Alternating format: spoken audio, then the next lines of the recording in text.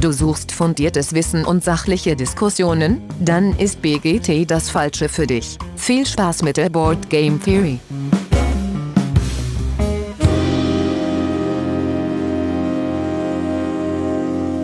Ja, hallo liebe Hörenden da draußen an Endgeräten. Schön, dass ihr wieder eingeschaltet habt zur BGT und äh, es ist jetzt schon fast Mitte Januar, deswegen äh, ganz knapp an der Grenze für den Rückblick, was wir im Dezember gespielt haben. Aber nichtsdestotrotz wollen wir euch da äh, ja, dran teilhaben lassen. Und das mache ich auf gar keinen Fall alleine. Deswegen sind heute endlich mal wieder mit dabei der Axel. Hi Axel. Hallöchen. Und der Olli. Hi Olli. Moin, moin. Ähm, ja, bevor wir uns für diesen spielerischen Rückblick auf den Dezember widmen, äh, haben wir ganz kurz ein bisschen Feedback bekommen. Äh, zum einen, äh, ja, Ludotheken, äh, wie erwartet, kontroverse Meinungen über unsere Auswahl.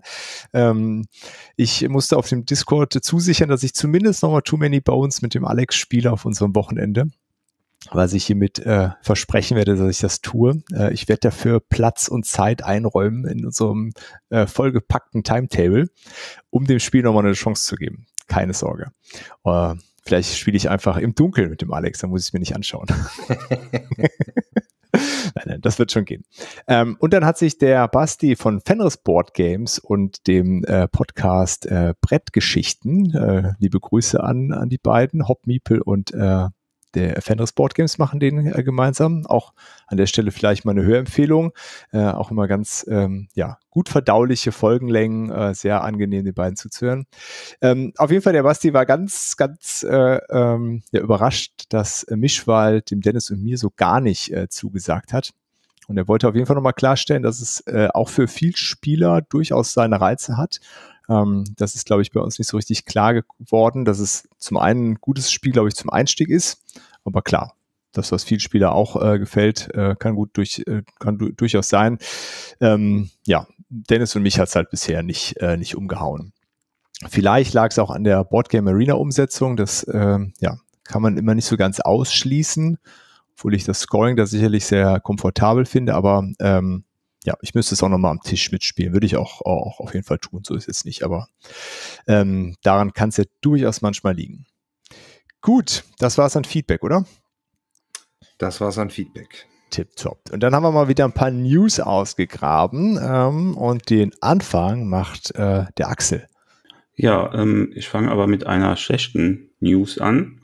Und zwar hat der Wonderbow Verlag, der warnt momentan vor Fälschungen seines Spiels Kelp, was ja vor kurzem auf Kickstarter beendet wurde ähm, sind wohl mittlerweile schon so 125 Fake-Angebote äh, aufgetaucht, zum Beispiel bei Amazon oder eBay. Und obwohl das Spiel erst im Oktober ausgeliefert werden soll. Ähm, ja, Problem ist wohl, da haben sich wer auch immer äh, diese äh, Leute dieses Spiel genommen und billig kopiert. Und zwar haben sie zum Beispiel die Hai-Figur, die in dem Spiel drin ist, einfach durch eine Lego-Hai-Figur ersetzt. Krass. Was äh, ja schon eigentlich auch ganz lustig ist, ne, wenn es jetzt nicht eine Fälschung wäre. Aber, ähm, oder zum Beispiel die Rückseite ist auch gar nicht bedruckt und der Spielplan ist wohl einfach nur so ein dünnes Stück Papier. Und ja, wie gesagt, eigentlich soll das Spiel erst im Oktober ähm, ausgeliefert werden und überhaupt bestellt werden kann das Spiel auch laut Hersteller erst ähm, so im Herbst rum, weil dann auch ähm, die Verschiffung der Unterstützer anfängt.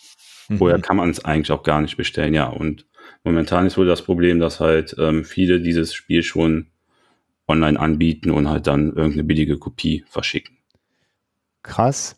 Das ist so irgendwie das erste Mal, dass ich davon äh, so aktiv mitbekomme. Ist ja, vielleicht hier und da schon mal passiert, aber also es äh, gibt es wohl schon seit 2018, habe ich so im Internet gesehen, ähm, so dass das mit den Brettspielfälschungen aufgetreten ist, aber bis jetzt habe ich noch nie so was Großes gehört, ja. das jetzt so krass losgeht. Also ich hatte das von Kelp jetzt auch mit. Ähm, ich hatte die News ja eigentlich auch. Ich habe sie jetzt nochmal zurückgezogen, äh, weil wir gesehen haben, wir haben eine Doppelung. Ich habe das äh, mitbekommen über über Instagram, weil ich den äh, Wonderbow Verlag halt folge.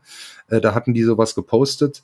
Ähm, und äh, hat es dann heute mal noch mal so ein bisschen gegoogelt und da äh, bei Brettspiel News äh, ist glaube ich auch ein Bericht darüber Ähm, und da schreiben sie auch, dass das wohl auch ein generelles Problem ist. Also nicht jetzt so nur bei, bei Kelp, sondern dass immer öfter mal ähm, auch Fälschungen auftauchen.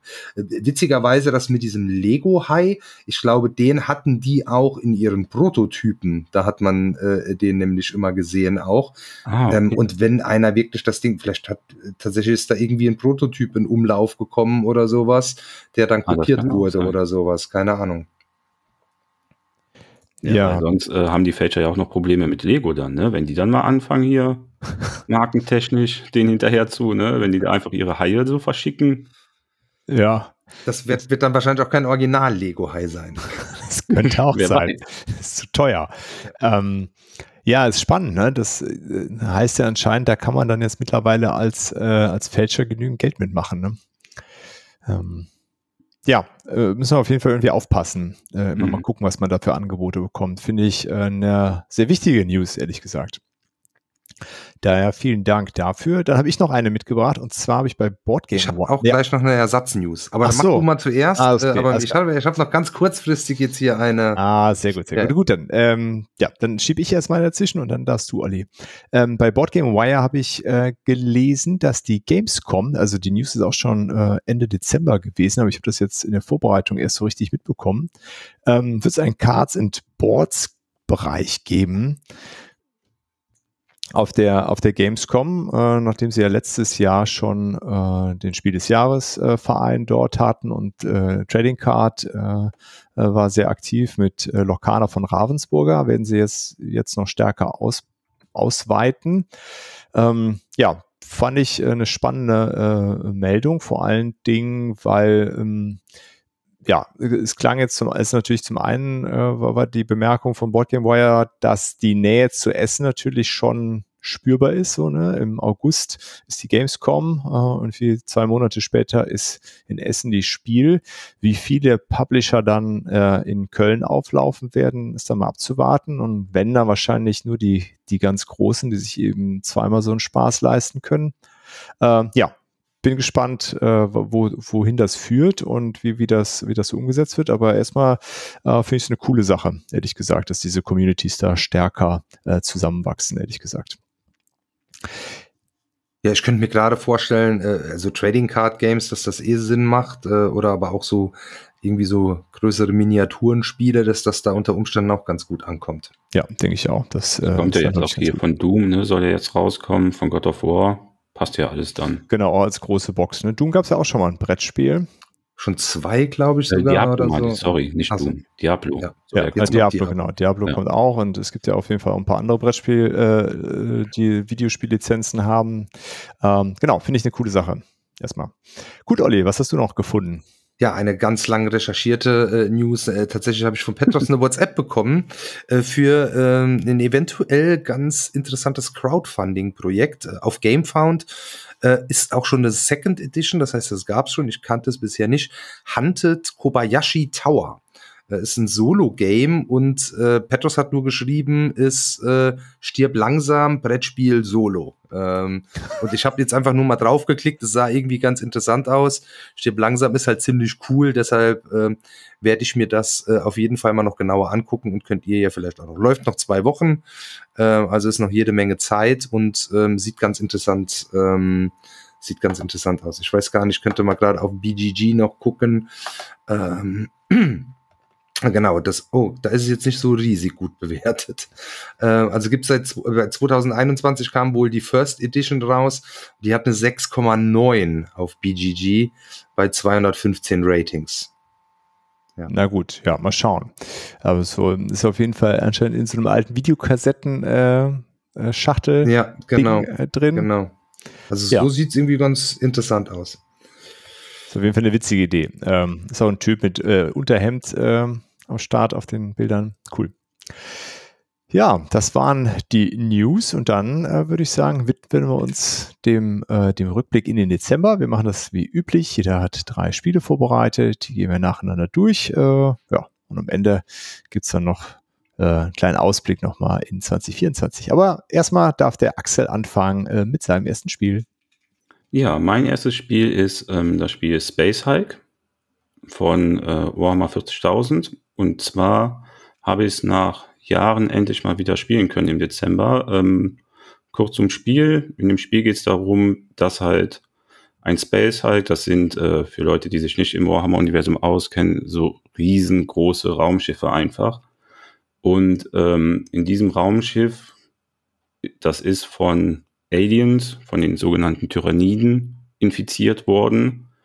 Und ähm, die ganze Besatzung ist halt tot, die da drauf war. Und der Orden der Space Marines hat dann einen Trupp Terminatoren dahin geschickt. Terminatoren sind so ähm, in riesigen Kampfanzügen ähm, rumlaufende Supersoldaten. Die haben die dahin geschickt, um halt diese Tyranniden zu finden und zu vernichten. Und ähm, in dem Spiel selber, das ist so ein Mix aus Skirmish, Skirmisher Dungeon Crawler, würde ich sagen, denn ähm, ihr habt verschiedene Missionen und jede Mission ist halt aufgebaut wie so ein Dungeon, halt mit vielen Gängen und Räumen. Und ähm, als Space Marine Spieler landet ihr quasi immer in diesem Dungeon, entweder durch ähm, so Landungstorpedos, dass ihr euch irgendwo am Rand platzieren könnt, oder ihr habt festgesetzte Positionen, wo ihr startet. Und dann müsst ihr halt irgendeine Mission in diesem Dungeon erfüllen. Sei es, ihr müsst zu einem Raum kommen, wo ihr was zerstören müsst, ihr ähm, müsst irgendein Artefakt finden oder ihr müsst irgendwelche Erkundungsmissionen machen. Und der Gegenspieler, der steuert die Tyranniden, die auf diesem Schiff sind. Und das Coole bei den Tyranniden ist, ihr habt eure Einheit nicht direkt auf dem Brett, ihr habt so verdeckte Marker, die ihr ähm, über in den Gängen bewegen könnt. Die kommen aus verschiedenen Punkten aufs Spiel. Und die werden erst aufgedeckt und der Space Marine Spieler sieht auch wirklich dann erst, wie viele von diesen Tyranniden jeweils da sind, wenn ihr in die Sichtlinie der Space Marines kommt. Da habt ihr nämlich so eine taktische Komponente, dass ähm, der Space Marine Spieler quasi sich erstmal ein bisschen bewegen kann und ihr mit euren Tyranniden probiert, den irgendwie zu umkreisen, dass ihr den dann mit einem Teil von hinten angreift, von der Seite angreift und von vorne angreift. Denn euer Problem als Tyrannidenspieler ist, ihr könnt, habt nur Einheiten, die im Nahkampf äh, kämpfen können. Ihr habt nichts mit Fernkampf, mhm. Reichweite und der, und der Space Marine Spieler, der hat halt sehr viel mit Reichweite. Der hat äh, starke Bolter, also starke Maschinengewehre oder Flammenwerfer oder äh, so, oder so eine richtige Gatling Gun und sowas. Und ja, da müsst ihr halt erstmal dahin kommen. Das heißt, als Tyranniden-Spieler haut ihr dem Space Marine-Spieler Welle um Welle von euren Aliens entgegen, in der Hoffnung dann halt irgendwann den ähm, Space Marine-Spieler einfach überrennen zu können. Und ja, so spielt ihr dann die Mission und ist ein ziemlich cooles Spiel, was leider zu selten auf den Tisch kommt bei mir. Ich weiß nicht, ob ihr das vielleicht kennt. Also den Namen habe ich schon ein paar Mal gehört. Und, das gibt es auch äh, als Videospiel. Genau, das habe ich nämlich von Lars schon ein paar Mal gehört. Äh, und bis, bis jetzt wusste ich nie, was, was ich mir darunter vorstellen soll unter Space Hulk und hatte immer bei Space Hulk, ne, durch Marvel mhm. das Wort Hulk irgend so ein Ach so. und nie weiter nachgeschaut. Deswegen, äh, ja, total überrascht, dass es sich auf was ganz anderes bezieht. Äh, wie, wie lange dauert das, äh, so eine Partie dann? Ähm, also die Mission, die wir jetzt gespielt hatten, das war aber natürlich, weil der, äh, mein Kumpel das noch nicht kannte, das waren jetzt mit Aufbau, Regelerklärung drei Stunden ungefähr. Okay. Aber wenn du es kannst und alle die Regeln, dann geht es halt deutlich flotter. Okay. Ja. Ist das dann auch äh, quasi als Einstieg in so die Warhammer-Welt zu verstehen oder hat das so regeltechnisch nicht mehr viel damit zu tun? Ähm, also es ist cool, um die Welt mal kennenzulernen einfach, ne, halt diese zwei Völker, ja, Pyramiden und Space Marines. Ähm, vom Spielprinzip ist es komplett anders, denn ihr habt halt ähm, Aktionspunkte für jedes Modell. Mhm. Heißt, ne, Bewegung kostet einen Aktionspunkt, sich drehen kostet einen Aktionspunkt und wie in Dungeon Crawlern halt so Türe aufmachen oder ähm, seine Waffe abfeuern kostet einen Aktionspunkt. Ähm, ihr habt halt die Bewaffnung und so, ne, wie aus dem normalen Warhammer-Universum. Aber das Kämpfen ist auch schon ganz anders. Ist komplett anders als bei Warhammer selber. Ihr habt halt jetzt ja. nicht irgendwie wie bei Warhammer, ähm, dass ihr irgendwelche Probenwürfel, zum Beispiel du triffst auf einer 4 Plus nur. Mhm. Und dann musst du erstmal gucken, ob du den Gegner auch verwundet hast und sowas. Das ist ja bei Warhammer sehr viel ja. mit Würfeln. Hier ist das halt so, ähm, ihr habt teilweise auch Munition für die schweren Waffen, also könnt die nicht dauerhaft abfeuern. Und beim Nahkampf ist das ähm, zum Beispiel, dass die Aliens weil diese Tyranniden, die ihr da habt, die haben, das sind ähm, Gene-Stealer heißen die. Das sind einfach so Alien-Feature mit vier Klauenarmen. Und ihr als Alien habt drei Würfel, der Space Marine hat einen Würfel und dann wird geguckt, wer einfach die höchste Zahl würfelt. Und dadurch hat halt der Alien-Spieler ähm, eine höhere Wahrscheinlichkeit, im okay. Nahkampf überhaupt zu treffen, weil er ja diese drei Würfel hat. Und ja, das ist ja bei Warhammer selber auch ganz anders gelöst. Okay, also das ist vor allem halt ein bisschen alles geändert. Ah, okay. Also vom Spielprinzip wenig, aber die Welt ähm, ist genau. halt ziemlich, äh, ziemlich cool. Das Coole ist aber auch, ihr könnt halt die Miniaturen von Space Hulk auch einfach für das normale Warhammer benutzen. Da müsst ihr die halt einfach nur auf die entsprechende Basegröße kleben. Ah, okay. Cool. Äh, und das nee, ist, habe ich äh, nie gespielt, aber äh, sorry, Olli, äh, da habe ich auf jeden Fall Bock, das mal zu spielen, jetzt nachdem du das mal erklärt ja, hast. Ja, muss ich euch mal zeigen. Und das ist dann einfach nur so ein Skirmisher in one Box. Also da gibt's jetzt nicht noch eine Million Erweiterungen und du kannst noch irgendwie andere Fraktionen dann nehmen. Das ist einfach so diese Szenarien, die zwei Fraktionen und genau. äh, ja. Also ihr habt, ähm, ich glaube, an die 15 Missionen in dem Spiel oder vielleicht mhm. sogar noch ein bisschen mehr.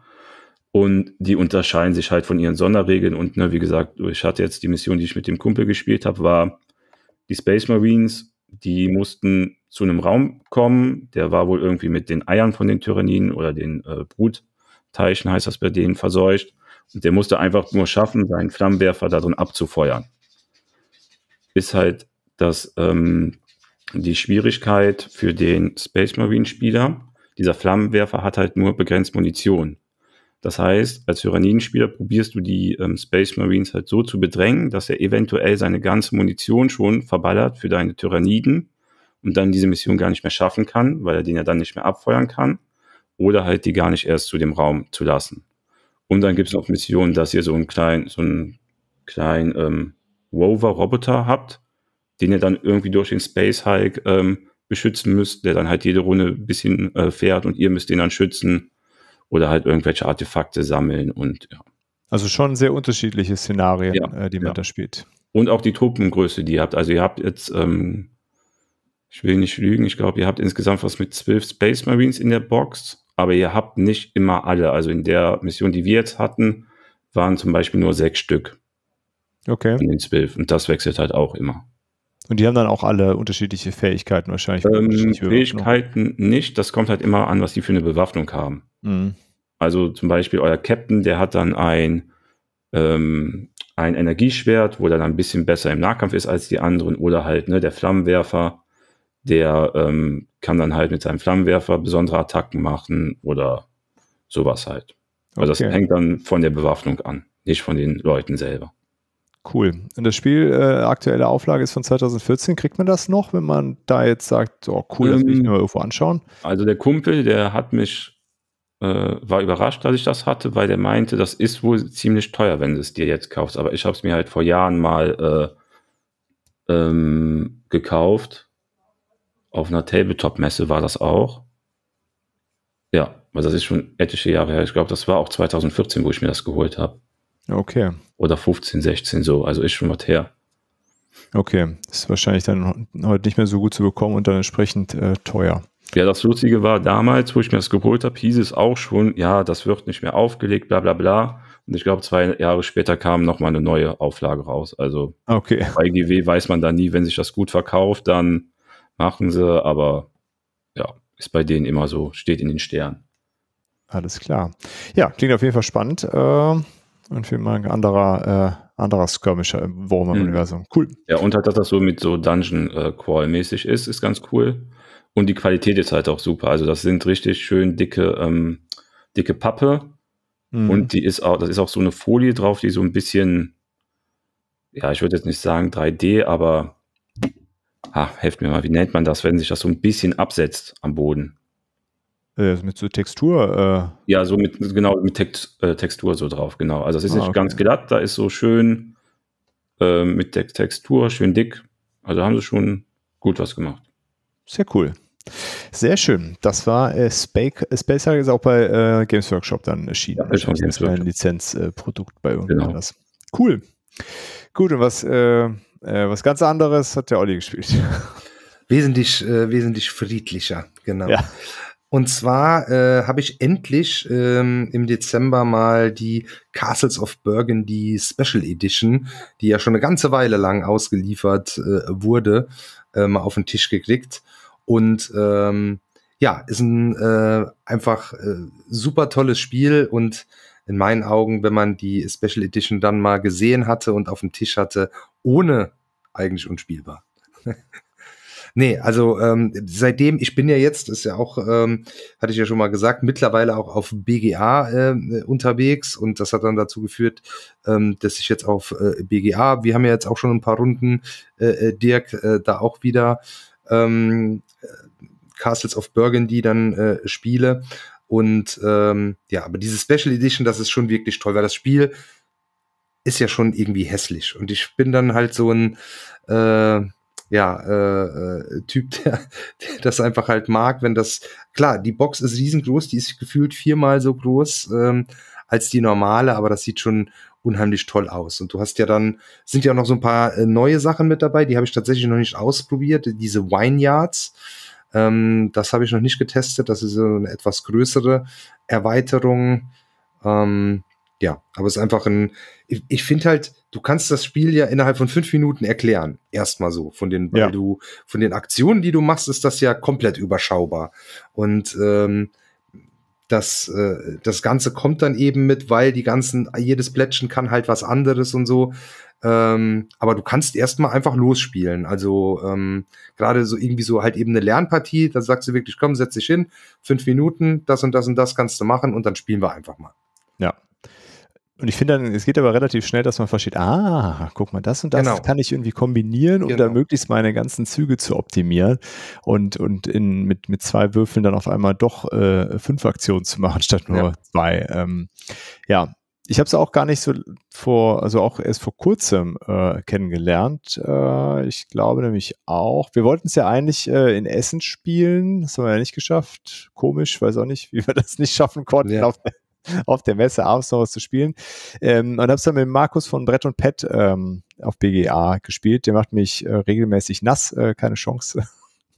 äh, aber ähm, ja, total cooles Spiel. Und ich habe es dann jetzt auch zu Weihnachten ähm, äh, geschenkt bekommen. Allerdings nicht in der Special Edition, ja. äh, sondern eben die Jubiläumsausgabe. Aber dafür mit Holzinsert hat meine Frau mir eins besorgt. Sehr gut, sehr gut. Äh, genau. Ja, ähm, nee, total knuffiges Spiel und genau wie du sagst, ne, super schnell erklärt, äh, super schnell irgendwie am Start und äh, es schließt sich auch relativ schnell, was, äh, wie äh, wie man da besser werden kann. Und die Partien gehen auch echt zügig, ne? Ja, genau, genau. Finde ich echt äh, gut. Wir können ja vielleicht mal ganz kurz, wenn das jemand äh, noch nicht kennen sollte. Ja, erklär doch mal das, kurz, äh, einen genau, kurzen, ist, ganz kurzen ja, Spielablaufsübersicht. Weil wir haben ja gesagt, man kann es in fünf Minuten erklären, wir können es jetzt sogar noch unter fünf Minuten. Im Endeffekt ist das halt ein, ein Würfel-Einsatz-Plättchen-Lege-Spiel, denn du hast jede Runde zwei Würfel zur Verfügung, die du würfelst und die dann eben eine Zahl von eins bis sechs anzeigen und in der Mitte hast du ein Tableau.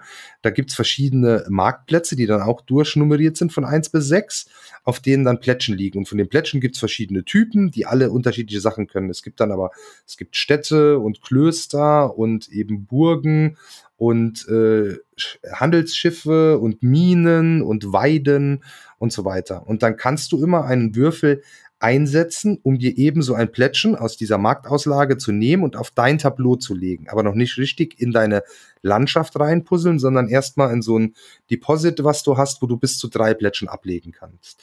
Und genauso kannst du einen Würfel benutzen, um dann eben so ein Plättchen zu nehmen, denn du hast dann eben ein Landschaftstableau, ähm, wo du anfängst ähm, eben mit einer Burg, die du am Anfang platzieren kannst. Es gibt vier Burgfelder da drauf. Und dann kannst du immer angrenzend an die Burg oder dann an die weiteren Felder, die du baust, dann äh, puzzeln. Und auf dem Feld sind eben auch immer Würfelzahlen. Also kannst du dann eben auch einen Würfel nutzen, um dann ein Plättchen aus deinem Deposit zu nehmen und es dahin zu puzzeln. Und dann werden je nach Plättchen irgendwelche Effekte getriggert oder du bekommst eben Punkte. Dann kannst du mit Minen äh, oder es gibt noch Waren, da kannst du Geld verdienen. Darüber kannst du dir ähm, über so einen Zentralmarkt auch Plättchen kaufen und so weiter und so fort.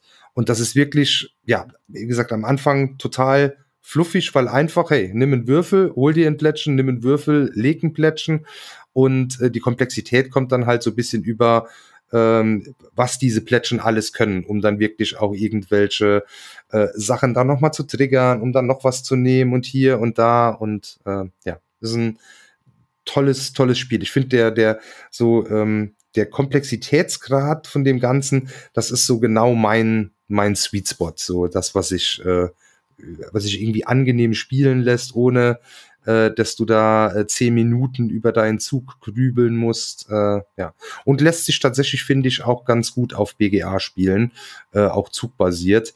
Ähm, ja, weil du dann immer so Runde für Runde dann guckst, so, komm, das habe ich jetzt, das liegt da und das mache ich. Und da hast du relativ schnell eine Übersicht. Ja. Ja, kann ich mich genauso anschließen. Axel, wie sieht es bei dir aus? Hast du äh, Bubu, wie es ja auch liebevoll genannt wird, äh, schon gespielt? Äh, hast du das auch zu Hause? Äh, nee, gespielt habe ich es leider noch nicht. Ich hatte es nur damals bei Olli gesehen, wo wir äh, in Essen waren, da diese schöne ja. große Box. Hätte ich da auch sehr gern gespielt, aber hat leider nicht geklappt. Und ja, interessiert mich auf jeden Fall. Ich, ich denke, das wäre auch was für meine Frau. Aber ob ich mir jetzt diese große Deluxe-Box hole für das Geld, da ist so, hm. Ich könnte mir vorstellen, dass du jetzt gerade äh, die anderen Versionen sehr, sehr günstig sehr auf günstig, dem Zweitmarkt ja. erwerben kannst auch. Ja, ja, ein Kumpel Zumindest hat das auch. um mal reinzuschnuppern, reicht das, äh, äh reicht das 100 Prozent, um erstmal zu gucken. Äh, und man kann, äh, das äh, war jetzt natürlich Quatsch am Anfang, auch mit der Box äh, leben und Spaß haben mit dem Spiel. Mhm. Halt nur nicht so richtig super viel Spaß. Ja, das, das geht halt nur. Der Hand, halt du kriegst halt keinen Deluxe-Spaß. Ja. äh, zu der Box an sich noch mal eine Frage. Da hatte ich heute ein Video von den Dice Brothers gesehen. Da hatten sie auch über die äh, Box geredet. Und die hatten wohl eine Sammlung, Sammelbestellung gemacht und bei denen waren die wohl überall eingerissen, die Boxen. Hattest okay. du da auch Probleme? War die bei dir auch irgendwie kaputt oder? Nö, nö. Oh, alles, okay. alles okay. Alles okay. Ja, die hatten sich halt gewundert, weil, weil das nicht nur bei einem war, sondern bei mehreren und dass das vielleicht allgemein so ein Problem ist, aber. Also ist mir zumindest, jetzt, jetzt machst du mich gerade ein bisschen nervös, muss ich gleich nach der Aufnahme mal nochmal äh, ans, ans, ans Regal. Äh, ist mir aber zumindest nicht aufgefallen. Ah. Da kann man ja noch sagen, es gibt ja dann auch nochmal unterschiedliche Versionen von Deluxe. Ich habe ja jetzt quasi den Lowest Level Deluxe. Ja, den hatten sie auch, ähm, den äh, normalen. Genau, normalen. mit den, mit den Papp-Plätschen. Ähm, dann konnte man die ja nochmal ähm, da gab es ein Acryl-Pack dann, äh, um die Plättchen auszutauschen. Der wäre noch ganz okay gewesen. Was ich halt nur bei den Pappplättchen ganz cool finde, ist, dass die Effekte von den Plättchen immer hinten auf den Plättchen draufstehen. Und das ist bei den mhm. Acryl-Dingern nicht, weil die ähm, halt ähm, sprachneutral gemacht werden sollten, damit es da ein Pack gab. Man konnte dann, glaube ich, später noch Aufkleber nachkaufen, um die da drauf zu kleben oder so.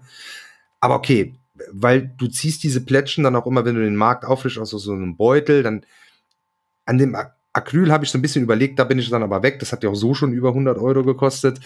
Ähm, was es dann aber auch noch gab, und das finde ich dann halt schon relativ unpraktisch, es gab ja die ganzen Plättchen dann noch als 3D.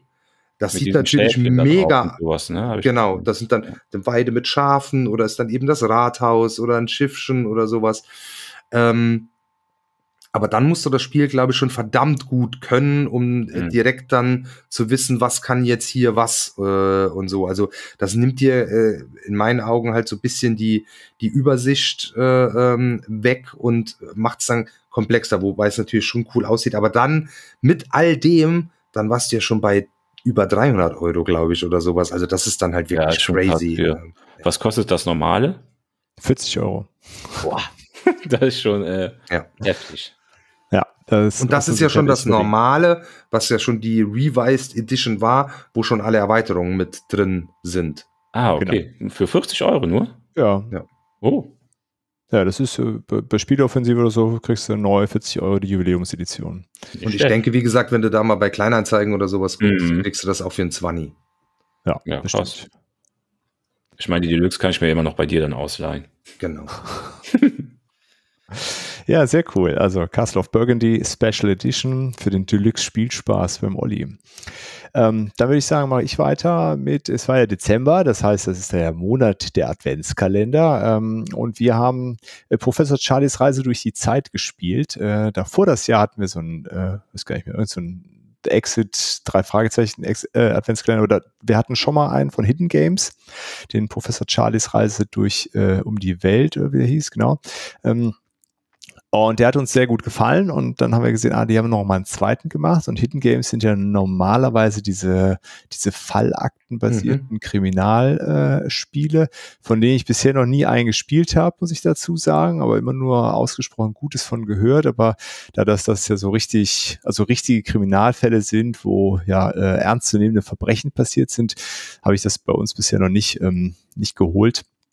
Und das äh, ja, und diese, diese Adventskalender, das sind ja auch nicht offiziell Adventskalender, man kann die auch einfach so am Stück spielen, machen auch dann Spaß, aber es sind halt zufälligerweise 24 Aufgaben drin, also passt es quasi perfekt für, ähm, für die Weihnachtszeit.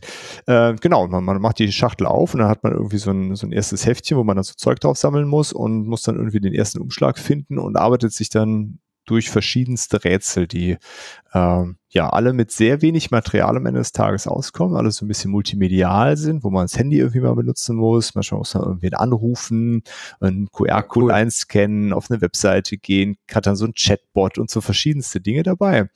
Ähm, ja, und die sind halt alle immer so in, ja, von die werden so, wenn nicht graduell schwerer, einige kann man irgendwie in fünf Minuten äh, machen. Andere haben wir dann irgendwie auch eine halbe Stunde dran gesessen an so einem Umschlag. Äh, schon sehr cool, sehr breites Spektrum und genau das Richtige für, für so die Weihnachtszeit, wo man morgens vor der Schule schnell noch was macht oder dann nachmittags äh, oder dann vielleicht auch irgendwie zwei auf einmal macht, äh, weil man den Tag davor zeitlich nicht geschafft hat. Äh, und beide hatten ähm, einen ganz tollen Abschluss äh, sehr, sehr schön aufgemacht. Da ist dann so eine, wird so eine größere Geschichte drüber erzählt. Diesen Professor Charlie verfolgt man halt irgendwie äh, dadurch. Ähm, genau, also falls ihr die noch nicht gemacht habt äh, und für, für dieses Jahr Weihnachten irgendwie einen coolen Adventskalender suchen, ein bisschen Rätselspaß, kann ich die beide wärmstens empfehlen. Die, ähm, ja, und wir hoffen, dass Hidden Games dann nochmal wieder einen macht, damit wir wieder einen äh, machen können von denen. Ach cool, das äh, notiere ich mir auf jeden Fall mal. Das hört sich sehr gut an. Genau, es könnte nämlich auch jetzt so, so mit, der ist ja dann sieben, der Milo, ne, dieses Jahr mhm. dann. Das könnte durchaus dann schon passen, wenn man so gemeinsam rätselt einfach. Wie gesagt, das ist von der, von der Länge her nämlich äh, ganz cool. Manche macht man dann vielleicht ein bisschen vor, äh, aber in, in der ja. Regel müsste das, glaube ich, ganz gut passen. Und das ist halt alles so, äh, da, da passiert halt nichts Schlimmes. Ne? Da, da stirbt keiner oder sowas. Ähm. Schade. Schade. genau, deswegen eignet er sich halt besonders dann äh, mit den cool. Kids. Ne? Das ist, äh, ist ganz cool. Und jetzt vor allen Dingen die Reise durch die Zeit. Äh, du lernst halt unterschiedliche Epochen kennen. Ne? Also zumindest kannst du kurz so Sachen immer ansprechen. Kannst du was bei lernen, wenn du möchtest. ähm, gut, gut. Das war äh, bei mir quasi der Adventskalender. Habt ihr schon mal einen von denen gemacht oder einen Hidden Game, Hidden, Hidden Games Fall gelöst? Hidden Games war bei mir tatsächlich ähm, so das erste, was ich überhaupt in dieser Art äh, gemacht. Die waren ja, glaube ich, so mit die ersten, ja, äh, zumindest was ich so bewusst wahrgenommen hat. Und ähm, da war ich schon ziemlich geflasht, weil die waren auch die diese Fälle gut gemacht und dann eben auch mit so einer Integration mit, jetzt schreibst du eine WhatsApp, dann hast du einen Anruf bekommen oder irgendwie sowas, äh, wo dann wirklich dann halt ein Tonband dann halt gesprochen hat oder so. Ähm, und das kannte ich da, ich weiß nicht, wann haben wir, kam der der erste raus oder wann haben wir den gemacht? Ich glaube, das ist fünf, fünf, sechs Jahre her schon mhm. oder so. Ähm, und das war schon ziemlich cool. Ähm. Sehr cool. Ja, da muss ich auch mal ausprobieren. Äh, Finde ich bestimmt auch eine Gruppe für. Cool. Dann, ähm, Axel, das nächste scheint mir auch ein größerer Miniaturentitel zu sein, den du mitgebracht ja. hast. Ja. Ähm, und zwar, das hat der Olli mir ausgeliehen, ist das Solomon Kane. Das ist ein, also ich würde es mal nennen, Storytelling Dice Placer. Denn ähm, in dem Spiel geht es halt um die Romanfigur Solomon Kane und Ihr habt ähm, einzelne Stories, die ihr spielt und jede Story ist, meine ich, ähm, immer aus den Romanen, ein bestimmter Teil von den Romanen rausgeschrieben worden, den ihr dann äh, nachspielen könnt. Das Coole bei dem Spiel ist aber, dass ihr nicht direkt Solomon Kane spielt, sondern ihr spielt eine seiner Tugend, Tugenden. Und zwar steuert ihr quasi durch die Tugend Solomon Kane. Ihr habt ähm, in den Stories. Da gibt es 18 Stück, wenn ihr alle Erweiterungen habt. Ähm, immer so ein Part, wo ihr eine Geschichte erzählt bekommt und dann müsst ihr den Pfad von Solomon ähm, erleuchten, heißt das in dem Spiel, denn ihr kommt in irgendeine Situation und Solomon weiß dann nie so richtig, was geht hier ähm, ab oder wie soll ich damit umgehen. Und da müsst ihr erstmal seinen Pfad erleuchten, dass ihr überhaupt weiß, was ist jetzt genau hier Sache. Und bei dem Spiel ist das so, ihr sucht euch eine ähm, der Tugenden aus. Ich habe das jetzt nur solo gespielt, da gibt's dann so eine große Tugend, die quasi alle anderen vier Tugenden verbindet und von allen ein bisschen was hat. Und ähm, dann würfelt ihr Würfel und könnt, je nachdem, was ihr gewürfelt habt, die Würfelergebnisse auf in dieser Tugend einsetzen. Die hat so ein Playerboard. Ähm, und da sind dann unterschiedliche Fähigkeiten drauf. Ihr könnt halt entweder, heißt, ist eine Fähigkeit, dass ihr den Pfad direkt erhält. Da macht ihr so ein Segenplättchen, dürft ihr verteilen. Ähm, oder ihr könnt dann mit Solomon gehen oder ihn kämpfen lassen, ihn mit Personen reden lassen, Sachen erkunden lassen. Und ähm, ja, wenn ihr dann die Würfel eingesetzt habt und diese Aktion gemacht habt, dann wird von dem Spiel eine Karte aktiviert, die dann euch sagt, was im an, ähm, Spiel passiert. Heißt, wie ähm, bewegen sich die Gegner, werdet ihr vielleicht von jemandem angegriffen oder machten die ähm, Personen, Gegner, die in dem Spiel aktuell sind, gerade irgendwas Storymäßiges. Ähm, ja, das zu dem Spiel selber. Und das Coole ist auch, dass ihr halt in den Stories immer sogenannte Story-Abschnitte habt und ähm, sogenannte Szenen. Bei den Story-Abschnitten müsst ihr halt nur Solomons Vater hellen und bei den zehn, da habt ihr dann wirklich ähm, die Miniaturen auf dem Feld und ein Spielfeld rumgebaut und könnt dann dort auch wirklich kämpfen. Das Kämpfen bei dem Spiel ist dann, dass ihr ähm, einfach eine Probe bestehen müsst. Heißt, die Gegner haben verschiedene Werte, die ihr mit eurer Probe erreichen müsst. Und je nachdem, welchen Wert ihr erreicht, wird dann eine Ereigniskarte ausgelöst, die dann noch genau sagt, wie es weitergeht. Also es kann zum Beispiel sein, dass ihr gegen einen Wolf kämpft oder kämpfen wollt, dann eine Probe macht und bei der Probe irgendwie einen Wert erreichen müsst, sagen wir mal von sechs oder höher, habt ihr diesen erreicht, zieht ihr eine Kampfkarte, da steht dann drauf zum Beispiel, dass der Wolf euch gerade angreift, ihr konntet aber ähm, den Wolf parieren, hebt ihn hoch,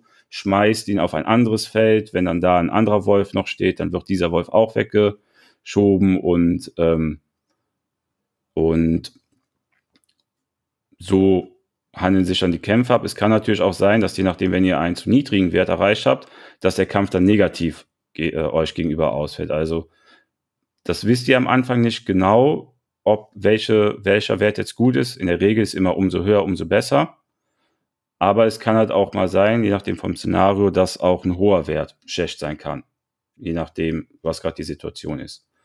Und so läuft das dann auch ab, wenn ihr mit Leuten redet, wenn ihr halt ähm, irgendwie Geheimnisse herausfinden wollt, müsst ihr auch diese Tests machen und dann werden ähm, so Discovery Cards heißen die aufgedeckt. Da kriegt ihr immer so einen kleinen Text, was die Person macht und dann kriegt ihr auch entweder Vorteile oder Nachteile, je nachdem wie der Wert war.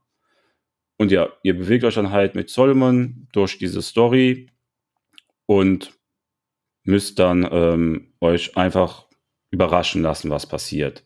Denn es kann sein, dass ihr ein Ende von einem aktuellen Abschnitt ähm, triggert, was ins Gute verläuft oder was halt auch ins Schlechte verläuft.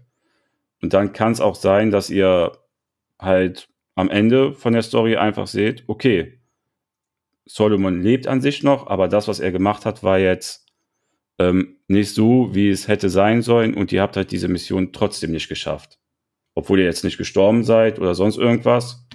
Zum Beispiel, wenn dann ähm, eine Story mit einem Werwolf ist, dass ihr euer Ziel eigentlich war, diesen Werwolf zu retten, aber ihr habt es halt nicht geschafft und deswegen ist diese Story einfach nicht erfolgreich beendet und ihr müsstet die nochmal neu machen.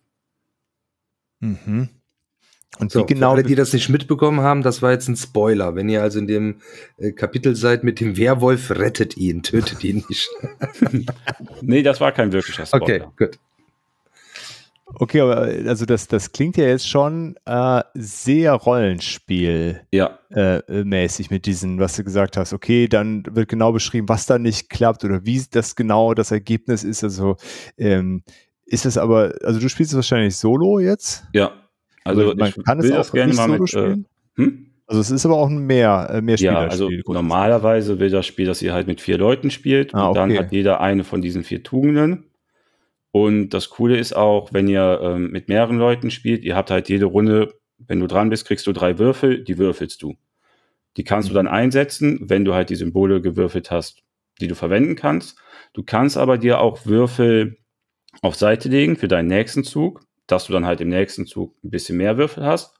Oder du kannst deine Würfel auch anderen Tugenden geben, dass die eventuell mehr machen können. Das ist halt das Problem, da ich das Solo spiele, habe ich nichts von dieser Mechanik. Mhm. Aber dafür ist meine Tugend halt einfacher. Habe ich auch das Gefühl, also wenn man Solo spielt, gehen die ähm, einzelnen äh, Szenarien eigentlich sehr einfach. Und ja, deswegen halt, wenn du mit vier Leuten spielst, musst du dich halt schon unterstützen. Okay. Weil es kann auch mal sein, dass du ähm, da, wo du gerade bist, einfach nur mit den Leuten reden musst und gar nicht kämpfen musst. Und dann hat halt die Tugend, die sich eigentlich auf Kampf spezialisiert, nicht wirklich viel zu tun. Mhm. Aber die ist halt trotzdem dran in dem Spiel. Also in dem Spiel ist das nicht so, dass ihr sagen könnt, okay, wir müssen jetzt nur erkunden. Ja, dann spiel du mal mit der Erkundungstugend, sage ich mal. Einfach das ganze Ding durch, dann haben wir das fertig. Ihr müsst halt dann schon immer abwechselnd spielen. Und deswegen Ah. müsst ihr euch halt die Würfel untereinander auch tauschen und euch auch gegenseitig unterstützen. Okay, das klingt aber sehr interessant, ehrlich gesagt. Und Ja. das ist ein interessanter Ansatz, dass man quasi diese, äh, diese eine Person steuert über die Tugenden, die sie äh, Genau. ausmacht. Ähm, Ihr habt das auch nicht damit, ähm, dass ihr irgendwie Solomon krass ausrüsten könnt mit irgendwie extra Pistolen oder Fähigkeiten oder sowas. Ihr steuert halt wirklich einfach nur eure Tugend. Ihr würfelt dann und sagt, okay, ihr könnt jetzt Solomon ein Feld bewegen und ihr könnt jetzt mit einer Person reden. Aber halt, um, ne, wenn ihr mit ihr redet, müsst ihr halt gucken, dass ihr einen bestimmten Wert erreicht und dann passiert halt irgendwas. okay, klingt sehr spannend. Äh, und äh, bauen die Szenarien dann auch immer aufeinander auf? Ist das so eine äh, zusammenhängende Geschichte, die man da erlebt, oder ist das quasi unabhängig voneinander? Also was ich bis jetzt gespielt habe, ich habe jetzt ähm, drei schon durch von den 18 Stück. Bei der vierten bin ich jetzt gerade dran. Aber die haben so nichts miteinander zu tun. Also manche spielen im selben Land, was ich bis jetzt hatte. Und es gab in einer Mission, wurde was aufgegriffen, was aus der Vergangenheit von Solomon Kane wohl stattfand. Also bestimmte Personen, die er wohl von früher kannte. Aber die sind mir noch nicht äh, in den Missionen davor vorgekommen. Ich denke mal, da das alles immer Teile aus den ganzen Romanen sind, haben die einfach, wenn man ne, von den Romanen das übernommen und vielleicht, wenn du dich mit den Romanen gut auskennst, hast du dann beim Spielen, ah, okay, das war ja da und da und vorher ist ja das und das mit der Person passiert. So denke ich mal, aber bis jetzt habe ich da noch keinen Zusammenhang. Also okay, das spielt alles dann ja in einer Welt und sowas, aber du hast keine äh, fortlaufende Charakterprogression oder irgendwie sowas, dass du also irgendwas erhältst äh, in einem Akt und hast das dann im nächsten noch. Nee. Weiß nicht, so. Nee. Also ich weiß nicht, wie es ist, wenn du halt, also bis jetzt habe ich nur die Stories gespielt, wo du auch immer nur einen Akt hast. Ich weiß jetzt nicht, wie es in den Stories ist, wo du zwei bis drei Akte hast. Okay, dass man Da innerhalb der Story dann wahrscheinlich schon. Ja, da ja. kann es natürlich sein. Aber dann sind die Stories quasi One-Shots, wo ich Ja. auch einfach sagen könnte, hey, Ja. ich lade mir mal drei Kumpels ein und wir spielen einfach eine, eine Solomon Kane Story. Genau, das könnte dann genau. auch irgendeine sein. Genau, genau. Und was Ja, halt cool ist, du kannst auch bei den Stories, kannst du entweder einen hervorragenden Sieg bekommen oder einen normalen Sieg oder du kannst halt nicht schaffen. Das heißt, du hast halt, wenn du jetzt zum Beispiel nur einen normalen Sieg gemacht hast, kannst du halt nochmal beginnen, weil Mhm. je nachdem, wie du dich entscheidest, ändert sich auch immer die Geschichte. Und da ich jetzt nur die Solo-Variante gespielt habe und es mir sehr einfach vorkommt, habe ich halt auch Bock, die Stories nochmal zu spielen, mal mit mehr Leuten, weil es dann vielleicht was schwieriger ist und ich halt nicht auf dem perfekten Weg da durchrutsche, sondern vielleicht mal bei einem ähm, Kapitel ein bisschen schlecht bin und dafür vielleicht ein bisschen mehr Kampf bekomme, dass ich mich da wieder rausboxen kann, um wieder auf den guten Pfad zu kommen. Aber der perfekte oder gu gute äh, Weg ähm, der hängt dann nicht nur davon ab, wie du irgendwelche Proben machst, sondern auch äh, basierend auf Entscheidungen, die du triffst. Ja, auch, also du kannst auch beim einer hatte ich das zum Beispiel schon am Anfang, konnte ich mich direkt für eine von zwei Wegen entscheiden. Und da hast du halt auch, okay, dann spiele ich halt beim nächsten Mal nochmal und entscheide mich mal für den anderen Weg und mal mhm. gucken, wie es da dann kommt. Okay. Ja, und es gibt sogar noch einen Modus. Ähm, du kannst es auch mit fünf Leuten spielen dann hast du quasi vier Leute, die die Tugenden spielen und einer ist so ein Overlord, der hat dann so eine, ähm, ja, die Dunkelheit heißt das im Spiel. Ah, okay. Funktioniert auch wie eine Tugend, aber die ist natürlich dann dazu da, um Solomon Kane zu behindern. Mhm. Das heißt, die kann ihm dann Gegner auf den Hals hetzen oder dafür sorgen, dass die Tugenden irgendwie weniger Sachen machen können oder wenn sie sich gerade irgendwie einen schönen Bonus gemacht haben, dass dieser Bonus dann verschwindet. Das hört sich auch ganz cool an. Nicht schlecht. Ja, klingt auf jeden Fall mal so nach einem anderen, äh, anderen Ansatz, so ein, so ein Spiel anzugehen. Mhm. Äh, vor allen Dingen, ich finde es ja immer, äh, ja, ist immer schwierig, ne, wenn du so ein Spiel hast, wo, wo es sich um eine prägnante Figur ja. dreht, äh, wie du das dann irgendwie hinkriegst, die dann zu steuern und äh, ja, finde ich einen sehr kreativen äh, Versuch, das über diese Tugenden zu lösen. Cool. Ja, ich finde das auch mal ganz angenehm, weil am Anfang, wo ich das von Olli ausgeliehen gekriegt habe, habe ich mir auch gedacht, ja cool, ich habe jetzt meinen Solomon da, kann ihm ein paar geile äh, Waffen geben, dann laufe ich da durch diese Geschichte und hau halt einfach die Monster weg, aber so ist das schon echt cool, dass du halt von oben quasi herab bist und einfach den steuerst und halt es passiert das, was passiert und je nachdem, wie du dich gibst. Mhm. Kannst halt natürlich auch, ne, hatte ich auch schon, du kannst halt auch in manchen ähm, ähm, Kapiteln hast du halt die Wahl, ob du das jetzt kämpferisch löst oder ob du das mehr mit dem Reden lösen willst. Okay. Je nachdem, wie du das dann da machst, hat das halt auch wieder Entscheidungen. Ne? Weil kann ja sein, dass du da jemanden umbringst, der vielleicht wann anders noch wichtig ist. Oder mhm. dir vielleicht helfen würde. Oder du hilfst einem, der dich vielleicht irgendwann dann später verrät oder so. Das kann natürlich auch immer mal passieren. Okay, sehr spannend, ähm, dass da doch so viel Rollenspiel-Aspekte äh, ja, irgendwie drin sind. Mhm. Cool. Da habe ich zufälligerweise eine coole Buchempfehlung. Die dunklen Lande von Markus Heitz spielt ja. auch in der Welt von Solomon Kane und da ist die Tochter von Solomon Kane quasi die Hauptperson. Ah, ähm, cool. Und äh, ja, ganz, äh, ganz geiles, ja, so, so Halb-Fantasy-Setting mhm. ähm, während des Dreißigjährigen Krieges. Und gibt's äh, dann ein Prequel, ist quasi ein Konzeptalbum von Blind Guardian dazu. Ah, geil. Ja, das ja. Coole ist auch bei dem Spiel, du hast auch direkt Bock, so die, die ähm, Romane von dem durchzulesen. Mhm, weil du halt ja, wissen willst, was ist vielleicht vorher passiert oder was passiert dann noch weiter. Also das haben sie schon richtig cool gemacht. Sehr cool. Nur schade, dass es halt nur auf Englisch auch verfügbar gibt. Also wenn das noch auf Deutsch wäre, das wäre natürlich. Ja, das ist dann schon leichter cool. bei sowas. Ne? Da, ja, vor allem auch, wenn ich das halt äh, mit meiner Spielgruppe spiele, weiß ich schon, das wird vielleicht ein Problem sein. Mhm. Das Englische wäre in Deutsch geiler, aber Vielleicht kriege ich es ja doch mit denen mal auf den Tisch. Sind wir gespannt, was du dann erzählst, wenn du es mal ja. mit äh, mehreren Leuten spielst. Sehr cool. Ähm, so, und bei Olli ging es dann äh, die Jolly Roger hissend weiter, ja? genau. Ich habe äh, Pirate Tales äh, mehrmals gespielt im äh, Dezember. Ähm, ich glaube auch vorher schon mal. Ähm, das hatte ich mir auf der Messe äh, besorgt bei, ähm, bei Skellig. Und das ist ja so ein Push-Your-Luck-Spiel mit Piratenthema. Das heißt, jeder von uns spielt einen Piratenkapitän. Ähm, dann hast du so eine, eine Karte, die aus äh, ist eine Neoprenmatte, ähm, auf der wir uns sofort bewegen. Wir starten also alle an einem Punkt und dann gibt es einen Endpunkt, den wir erreichen wollen. Und das läuft dann so ab, dass man jede Runde entscheiden kann, wie weit man ähm, reisen will. Und dafür deckt man dann so Karten von einem Stapel äh, um und da sind unten immer Totenkopfsymbole drauf. Ich glaube, auf diesen Karten können das eins bis drei sein. Und am Ende einer Reise muss man dann immer von oben so, ein, so, eine, so eine Inselkarte nehmen und da kann man selber entscheiden, ob man eine mit Stärke drei, mit Stärke fünf oder Stärke sieben dann dahin legt.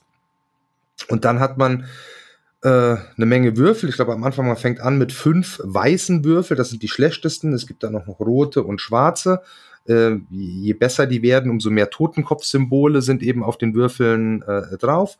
Und dann würfelt man die Würfel und man hat auch noch Handkarten. Das sind dieselben Karten, die man auch zum Reisen benutzt, aber da zählt dann ein anderes Symbol und dann muss man in Kombination mit den Würfeln und den Karten immer diese Karten, die man ausgelegt hat, erfüllen, sprich die Totenköpfe äh, abliefern. Und wenn man das tut, ist oben immer noch ein kleines Symbol drauf, was man dann kriegt. Dann kriegt man zum Beispiel einen neuen weißen Würfel. Oder man darf sich noch eine neue Handkarte ziehen. Oder man darf seine Würfel rerollen. Rerollen kann man generell auch immer, wenn man einen Würfel aus seinem Pool zur Seite legt. Der ist dann in der Runde nicht mehr verfügbar und dann darf man alle anderen ähm, rerollen. Und so muss man dann am Anfang, das ist der Push-Your-Luck-Mechanismus dann gucken, wie weit will ich jetzt reisen, weil je weiter ich dann gehe, umso mehr Benefits kann ich kriegen und in welcher Stärke will ich meine Inselkarte dann haben, drei, fünf oder sieben, umso mehr Benefits kriege ich da auch wieder. Und auf den Inselkarten, da ist dann auf den meisten äh, zumindest auch immer was drauf, mit der ich dann tatsächlich mein Schiff weiter bewegen darf oben drüber auf einer Leiste. Und das und mit diesem Schiff will ich, wie gesagt, ans Ende kommen. Und dort, wo das Schiff steht, das besagt dann immer, so viele Karten muss ich auch aufdecken. Bis dahin muss ich mindestens aufdecken. Ich kann dann auch noch drüber gehen. Da kommt nachher in einem Endbereich, kommt noch so eine Krake. Da muss man dann auch immer noch eine Krakenkarte ziehen. Ähm, ja, hört sich erstmal alles ziemlich cool an, sieht auch ziemlich cool aus. Das Material ist echt toll, wie gesagt, eine Neoprenmatte. Dann gibt's da ähm, es gibt eben Gold, das sind äh, Token, aber ziemlich dicke. Und dann gibt es aber auch noch ähm, so Juwelen. Ähm, blaue sind, was ist dann blau Saphir und rote Smaragde. Das ist ziemlich äh, äh, cooles Material. Die, ähm, die Artworks auf den Karten sind auch, auch schön. Ähm, aber irgendwie war ich am Ende so ein bisschen ernüchtert, äh, würde ich mal sagen. Also das ist definitiv kein, kein schlechtes Ding. Milo gefällt es zum Beispiel super, der will das jetzt relativ ähm, oft spielen. Aber ich finde irgendwie so von den, den Möglichkeiten, die du ähm, hast, ist das relativ belanglos. Ähm, also du würfelst halt und legst dann noch Karten hin und ja, eigentlich mag ich äh, so Push-Your-Luck-Sachen, ähm, echt, äh, echt gerne oder halt auch so, so Würfeldinger, wenn ich jetzt keine Ahnung, dann zum Beispiel äh, gefällt mir jetzt in, in, in, in King of Tokyo, äh, wo es jetzt auch mal um viel Würfeln geht oder sowas, wesentlich besser. Oder wenn es um das, um das reine Push Your Luck geht, gefällt mir irgendwie in, in, in, in Quacksalber wesentlich besser. Gut, Quacksalber würde jetzt vielleicht mit Milo noch nicht so super, obwohl da würde auch schon gehen, ja. Ähm, aber da bei Quacksalber habe ich irgendwie noch mehr Möglichkeiten, auch Einfluss zu nehmen. Und hier ist das so, ich mache irgendwie gefühlt jede Runde äh, dasselbe. Und äh, ja, es gibt dann auch noch so ähm, Kenta-Karten, wenn man dann tatsächlich ähm, die Karten, die man ausgelegt hat, nicht schafft, dann muss man so eine Kenta-Karte ziehen, da passiert dann auch noch mal was. Das kann zum einen was sein, was dich ein bisschen pusht oder auch was dich noch mal ein bisschen äh, behindert. Und klar, du kannst von all den Kartenarten, von diesen Insel, ne, ich glaube von den Krakenkarten und den Kenta-Karten, da gibt's verschiedene Schwierigkeitslevel, wo du so den, den, den Gesamtlevel des Spiels dann noch anpassen kannst. Ähm, ja, also es ist absolut okay, das Spiel. Ich würde jetzt nicht sagen, das will ich nie mehr spielen oder ähm, ich, ich hack mir jetzt eine Hand ab, wenn Milo äh, wieder damit ankommt. So ist es nicht. okay. äh, ist vollkommen in Ordnung. Aber irgendwie, ähm, ja, so geflasht hat's mich ähm, irgendwie nicht. Und ähm, ich glaube auch, wenn Milo jetzt gesagt hätte, nö, ihm gefällt das nicht, dann wäre es auch wieder, ähm, dann wäre es auch wieder ausgezogen. Ja, okay, verstehe. Ähm, ja, ich habe es schon ein paar Mal äh, so mitbekommen. Sieht ja, äh, ist ja recht coole Tischpräsenz. Ähm, aber ja, irgendwann vielleicht mal mitspielen, aber jetzt hast du mich auf jeden Fall nicht so richtig überzeugt. Äh, also das ist schon sowas, weißt du, was du auf so einem Family-Event dann, wo dann Leute sind, jetzt könnte ich jetzt zum Beispiel an Weihnachten auch mit meinen Eltern auf den Tisch packen, Ja, okay, ne? dafür ist es aber cool, ja.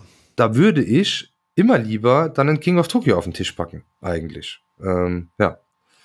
Ach so, weil ich das okay. einfach ja. äh, dann lustiger finde und äh, ja, keine Ahnung. Ja, das ist dann vielleicht King of Tokyo kommt vielleicht dann nicht ganz so, äh, ja, oder begeistert vielleicht nicht ganz so viele Leute wie so ein Piratending, das ist vielleicht noch so ein bisschen Das könnte vielleicht noch, ja. Ähm, äh, Alternative kann ich ja immer Port Royal empfehlen für ein Piraten Push Your Luck spielen. Das finde ich auch äh, mega. So, ja. so ein ganz einfaches Da erzählst du ja relativ oft, äh, das habe ich tatsächlich noch nie ausprobiert. Ich glaube, ähm, das äh, werde ich mir tatsächlich mal angucken. Vielleicht bringe ich das zum Wochenende einfach mit. Das ah ja, genau. Das ist eine gute, mal zocken. Ja, das, das ist eine gute äh, Idee. Witziges Ding. Cool. Also Pirate Tales bei Skellig äh, 2023 Neuheit war das sogar, ne? Genau. Und cool. ist auch eine, ist eine Skellig-Eigenentwicklung, also keine ja, Lokalisierung oder sowas. Ähm, ja. Gut, aber für, für, für genau die Zielgruppe, so Push Your Luck und ja. irgendwie mal so zwischendurch so ein Spiel, ist das ja vielleicht genau das Richtige dann. Cool. Dann ähm, mache ich weiter mit, äh, mit so einem ganz kleinen Spiel, was mich wahrscheinlich auch nur die nächsten fünf Jahre beschäftigen wird. Ich habe nämlich mit Frosthaven angefangen.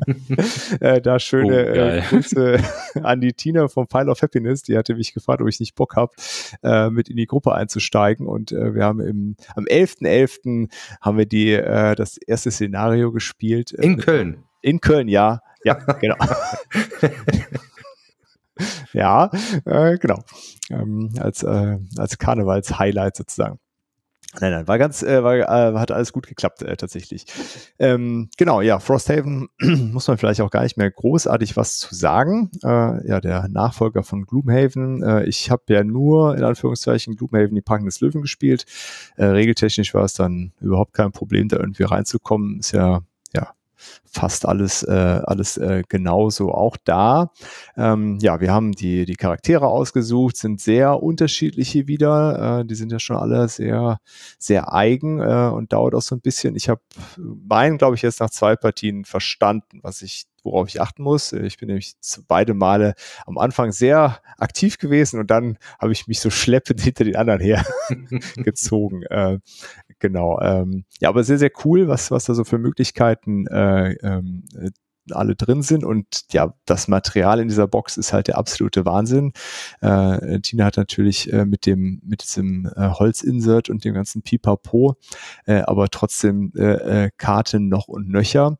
Ähm, was äh, ja also unabhängig von dem üblichen Gloomhaven-Gedöns mit Karten aussuchen und so weiter und so fort äh, ist vor allen Dingen diese, äh, diese Außenpostenphase halt ganz spannend, die man am Ende des Szenarios hat, wo man dieses Frosthaven halt irgendwie ausbaut. Ähm, das ist ja so eine, ja, eine Siedlung am Rande der Zivilisation, wo nicht so richtig viel ist und die man aber irgendwie nach und nach ausbauen muss äh, und äh, befestigen muss. Und da kommen dann auch Ereignisse und irgendwann ist auch Winter und dann wird alles noch schlimmer vermuten wir. Äh, und zwischendurch wird man mal angegriffen oder es gibt ein Erdbeben oder so ein Kram äh, und muss dann da irgendwie Entscheidungen treffen, wie man damit umgeht. Ähm, das ist ganz cool, muss ich sagen. Also es gefällt mir ganz gut. Vor allen Dingen äh, motiviert das, äh, den, den Loot ganz anders einzusammeln, weil Pranken des Löwen und wie die anderen mir berichtet haben, ist das im normalen großen Gloomhaven auch so gewesen ja, jeder sammelt halt so seinen Loot vor sich hin, um sich selber besser zu machen. Aber jetzt äh, und dann gönnt man vielleicht auch nicht immer jedem noch am Ende noch ein bisschen Loot einzusammeln. Äh, hier ist es aber so, du findest vor allen Dingen Materialien, äh, die du eben für den Ausbau der Stadt brauchst. Und da ist es dann schon so, dass wir jetzt die beiden Szenarien immer gesagt haben, ach komm, lass noch so möglichst viel Zeug einsammeln, weil wir kriegen ja äh, Sachen, die wir, äh, die wir für den Stadtausbau äh, brauchen. Und den darf man nicht so richtig vernachlässigen. Da kann man dann auch neue Gebäude errichten, die einem irgendwas bringen. Äh, was wissen wir noch nicht genau, aber ähm, da gibt's glaube ich, eine ganze Menge zu entdecken. Ein sehr cooles Crafting-System für, äh, für Tränke, wo man dann so wie so ein, so ein einfacher Adventskalender, wo man so Plättchen aufreißen muss und dann kann man so Zutaten kombinieren. Äh, das ist ganz cool gemacht. Äh, ja, und mit der Vorteller-App, die es jetzt gibt, ist ja alles sehr professionell eingesprochen, sehr atmosphärisch. Äh, gibt es am Anfang, am Ende des Szenarios ähm, ja, so Audio, Audioschnipsel wirklich ganz, ganz toll eingesprochen. Ähm, mitunter ein bisschen schwierig zu verstehen, wenn dann irgendwelche schottischen Akzente da ausgepackt werden, die dann sehr stimmungsvoll äh, von den Problemen erzählen, aber äh, sehr cool gemacht. Äh, wir spielen das mit der äh, offiziellen äh, Frosthaven App äh, für, für das Monster Tracking. Das macht es echt angenehm, muss ich sagen. Das fand ich bei Prang des Löwen schon sehr angenehm, dass da alles, ja, die ganzen Stats, Initiative und die Zustände und so weiter getrackt werden. Gibt es da jetzt eine, eine offizielle? Ja, genau, genau. Haben Sie deshalb den armen ja. Gloomhaven-Helper-Typen eingestampft? Äh? Ganz genau, ganz okay. genau. Äh, da gibt es auf jeden Fall jetzt was ganz Offizielles. Ähm, ist im Grunde das gleiche wie diese Gloomhaven-Helper. Ja. Ähm, ja, cooles Ding. Ich, äh, also wie gesagt, über Gloomhaven muss man ja gar nicht mehr so viel sagen. Ich finde es halt total äh, faszinierend. Es ist, ist für mich so ein bisschen die Grenzen austesten, was man mit Pappe und Karten noch so äh, realisiert bekommt. Ne? Äh, am Ende des Tages äh, wäre das wahrscheinlich alles besser in der App aufgehoben wie bei Decent, ne, wo Crafting-System und der ganze Kram drin ist. Ähm, aber hier sind es halt irgendwie Karten über Karten über Karten und irgendwelche Aufkleber und dann holt man das nächste Ringbuch raus, wo man nochmal was nachliest. Ähm, ja, sehr cool. Ist eine coole Gruppe, macht total Laune ähm, und bin mal gespannt, wie viele Jahre wir damit verbringen werden.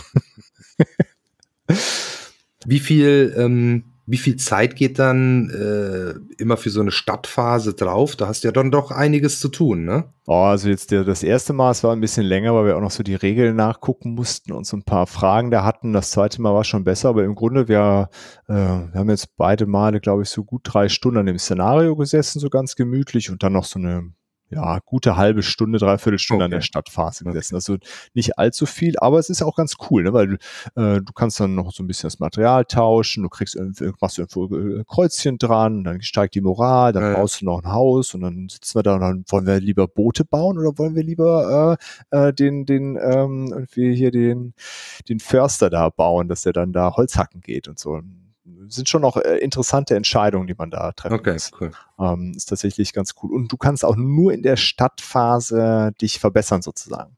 Also wenn du, du kannst dann unterwegs bleiben, manche Szenarien sagen, du gehst nicht zurück in die Stadt, äh, mhm. sondern bleibst quasi draußen irgendwo unterwegs. Falls du da Level up kriegen solltest, so haben wir es jetzt verstanden, kannst du das dann nicht anwenden, sondern du musst erst wieder zurück in die Stadt. War das nicht bei Gloomhaven auch schon so? Weiß ich gar nicht mehr ah, genau. Keine Ahnung. Bei so lange. Gloomhaven bist du, glaube ich, immer direkt in die Stadt zurückgekommen. Nee, du konntest, glaube ich doch, oder verwechsel ich es jetzt? Ist nee, bei mir bei schon Gloomhaven, zu lange her. Da war, stand am Ende des Szenarios nie, ob du wirklich äh, in die Stadt, weil wir hatten jetzt auch beim letzten Mal eins. Es gab doch manchmal aber so Szenarien, die auch so direkt miteinander verkettet waren. Ja, aber da stand, da stand aber nichts davon drin, dass du nicht zurück darfst. Das hatten wir dann beim letzten auch einfach selber so entschieden, aber von den Regeln her. Also nicht darfst, nee, ich glaube, da war so, du, du konntest dann sagen, ich spiele jetzt direkt genau, weiter. Genau, genau. Oder ich gehe zurück, dann musstest du aber auch um hinkommen nochmal so ein Reiseevent. Genau, so ein äh, Reiseevent, so aber das Stadtevent genau. ist so war das äh, ja. ausgeblieben, genau. Das hatten wir aber auch selber gesagt, aber in den Regeln heißt, glaube ich, du kommst immer direkt warm in die Stadt zurück. Ah, okay. Ja. Na, hier ist auf jeden Fall äh, gefühlt so ein bisschen mehr dann, wenn du in der Stadt bist, was, was ja, da Hast du auch toll gemacht, Dirk. Jetzt muss ich mir das, glaube ich, doch kaufen, ey. aber wir sind immer noch bei Gloomhaven dran, aber irgendwie hast du mich jetzt noch heißer wieder drauf gemacht. Das ist schlimm bei dem Ding, ey. Ja, ich bin, bin mir ganz froh, dass ich da mitspiele. Also es äh, macht auf jeden Fall Bock ähm, und ist echt eine, eine coole, äh, coole Gruppe. Ja, ich habe leider keinen in der Nähe, der das hat. Das ist das Problem. Dann bin ich immer der, der das kaufen muss, die großen Sachen. Schade. Ja. da bin ich jetzt ganz froh auf jeden Fall. Aber ähm, hier hätte ich es auf jeden Fall nicht, äh, nicht gespielt bekommen, so in der Form. Ähm, gut, gut. Ja, dann, äh, das war bei mir Frosthaven. Ähm, wir spielen es auf Englisch, äh, aber das ist uns e egal. Äh, okay, und dann hast du auch noch einen ganz kleinen Abschluss, ne, Axel? Ja, ich habe ein kleines Spielchen äh, mit ein paar Miniaturen auch nur. Und zwar, ein Absacker. Ähm, ja, ein Ab genau, Absacker. Ähm, und zwar habe ich nochmal das normale Warhammer 40.000 gespielt, jetzt in der zehnten Edition. Das letzte Mal, wo ich das gespielt habe, das war so Ende siebte, Anfang achte, also ist auch schon einige Jahre her. Damals hatte ich auch noch ein paar Armeen, da hatte ich, glaube ich, ähm, Space Marines, Orks, Imperiale Armee sind aber dann über die Jahre alle mal verkauft worden. Und ähm, ja, jetzt hatte ich zu Weihnachten einmal die Battlebox von den Elder, von der Craft World bekommen. Das sind halt, ne, für die, die es nicht kennen, die Space Elfen. Und ähm, ja, damit hatte ich dann mein erstes Spiel und es war ganz cool. Ich musste zwar noch vom Kumpel paar Miniaturen leihen, weil Warhammer wird ja immer nach ähm, einem Punktesystem gespielt, dass halt beide Armeen auch fair aufgeteilt sind, dass jetzt nicht einer, weil ich nicht hunderte von Figuren hat und der andere hat dann nur zehn Stück rumlaufen. Und ja, dann haben wir uns auf ähm, 1000 Punkte geeinigt und weil das mein erstes Spiel nach Jahren wieder war, auch nur so ein Einsteigerspiel gemacht, ohne wirklich viele ähm, Sonderregeln, sondern einfach nur Missionsziele halten und Gegner abschießen. Und ja, war geil. Also, auch geil. War geil. Schöne Würfelorgie und ähm, ich muss sagen, die haben die zehnte Edition deutlich vereinfacht, was das Armee zusammenstellen geht und auch was das reine Spielen angeht. Weil, ähm, nur als kleines Beispiel, wo ich noch gespielt habe, hattest du für eine Einheit, einen Punktewert. Das war dann meistens nur so bis zu fünf Modelle. Für jedes Modell, was dazugekommen ist, hast du wieder mehr Punkte, die du zusammenrechnen musstest. Und für jeden Typ der Bewaffnung. Das heißt, wenn ein Typ ein Schwert und eine Pistole hatte, hat das Schwert fünf Punkte gekostet, die Pistole zwei Punkte gekostet. Dann wolltest du dem vielleicht noch Granaten geben, dann hattest du nochmal fünf Punkte. Und alleine die ganze Zusammenwürfelei, Rechnerei und das war so viel Arbeit dann, was sie jetzt in der neuen Edition einfach so geregelt haben. Du hast eine Einheit, die kostet Punkte. Kommst du über einen bestimmten Wert an Modellen, musst du einfach das Doppelte der Punktzahl ausgeben. Aber die Bewaffnung kostet nichts mehr. Das heißt, die haben ein paar Regeln, was sie für Waffen haben dürfen, aber was du denen an Waffen geben willst, kannst du denen geben. Du musst jetzt nicht darauf achten, okay, wenn ich dem jetzt den Flammenwerfer gebe, da bin ich fünf Punkte über dem Soll, da muss ich jetzt von dem vielleicht was wegnehmen und also dieses Komplizierte ist weg. Mhm. Und ähm, auch allgemein diese ganzen Armeelisten, die du früher einhalten müsstest, zum Beispiel, früher musstest du so einhalten, ähm, du durftest vielleicht nur einen Panzer mitnehmen oder durftest vielleicht nur drei Standardeinheiten mitnehmen oder nur eine Elite-Einheit oder halt diese ganzen Sondersachen haben sie alles weggelassen. Was ich finde für Neueinsteiger vor allem sehr cool ist, weil man so sehr schnell reinkommt. Vielleicht für die Veteranen ist das ein bisschen blöd, weil sie das vielleicht halt auch gemocht haben, ne? dieses bis aufs Kleinste die Armeen zusammenstellen mit der Bewaffnung und sowas und ähm, aber das geht ja nicht weg, so wie du das jetzt beschreibst. Ich kann die weiterhin bis auf den einzelnen Trupp da bewaffnen oder das zählt Ja, du bist halt freier. Ne? Also früher muss, warst du quasi dazu gezwungen, so fand ich das immer, die Einheiten sehr zu spezialisieren. Und jetzt kannst du halt ne, alles, was du quasi ans Modell anbringen kannst, kannst du einfach so der Armee geben. Okay. Das ist. Also ich finde das besser, aber wie da ich irgendwelche Veteranen von früher, ne, die von Anfang an dabei sind, finden es vielleicht ein bisschen blöd, weiß ich jetzt nicht. Und ähm, ja, vom Spielen her ist es auch deutlich einfacher geworden. Es ist eine komplette Phase weggefallen, denn Warhammer wird in verschiedenen Phasen gespielt. Du hast einmal deine Bewegungsphase, dann kommt die Schussphase. Früher kam dann noch danach so eine Psi-Phase. Das ist halt so eine, wie in Fantasy quasi Magie-Phase. Mhm. Wie man die nennt, hieß, heißt Psi-Phase. Dann kam noch eine Nahkampfphase und dann ist halt deine Runde vorbei und der Gegner ist dran. Und allein, dass diese eine Phase wegfällt, das erspart teilweise so viel Würfelei und so viel Zeit einfach, was den Spielfluss so viel besser macht, finde ich. Denn zum Beispiel die Elder, die war, sind eigentlich eine Armee, die viel auf diese Psi-Fähigkeiten setzt. Und da hattest du dann, denke ich mal, früher als äh, Elder-Spieler in dieser Phase sehr viel, was du machen konntest. Und jetzt haben sie das einfach so drauf runtergebrochen, dass alles, was du an Psi-Sachen hast, quasi in der Schussphase abgehandelt wird mit den normalen Waffen oder das sind dann irgendwelche allgemeinen Fähigkeiten, die du mal einsetzen kannst oder mhm. irgendwelche mhm. ähm, ja, allgemeinen Verbesserungen für den Trupp, den du dann dir auswählen kannst. Sehr cool.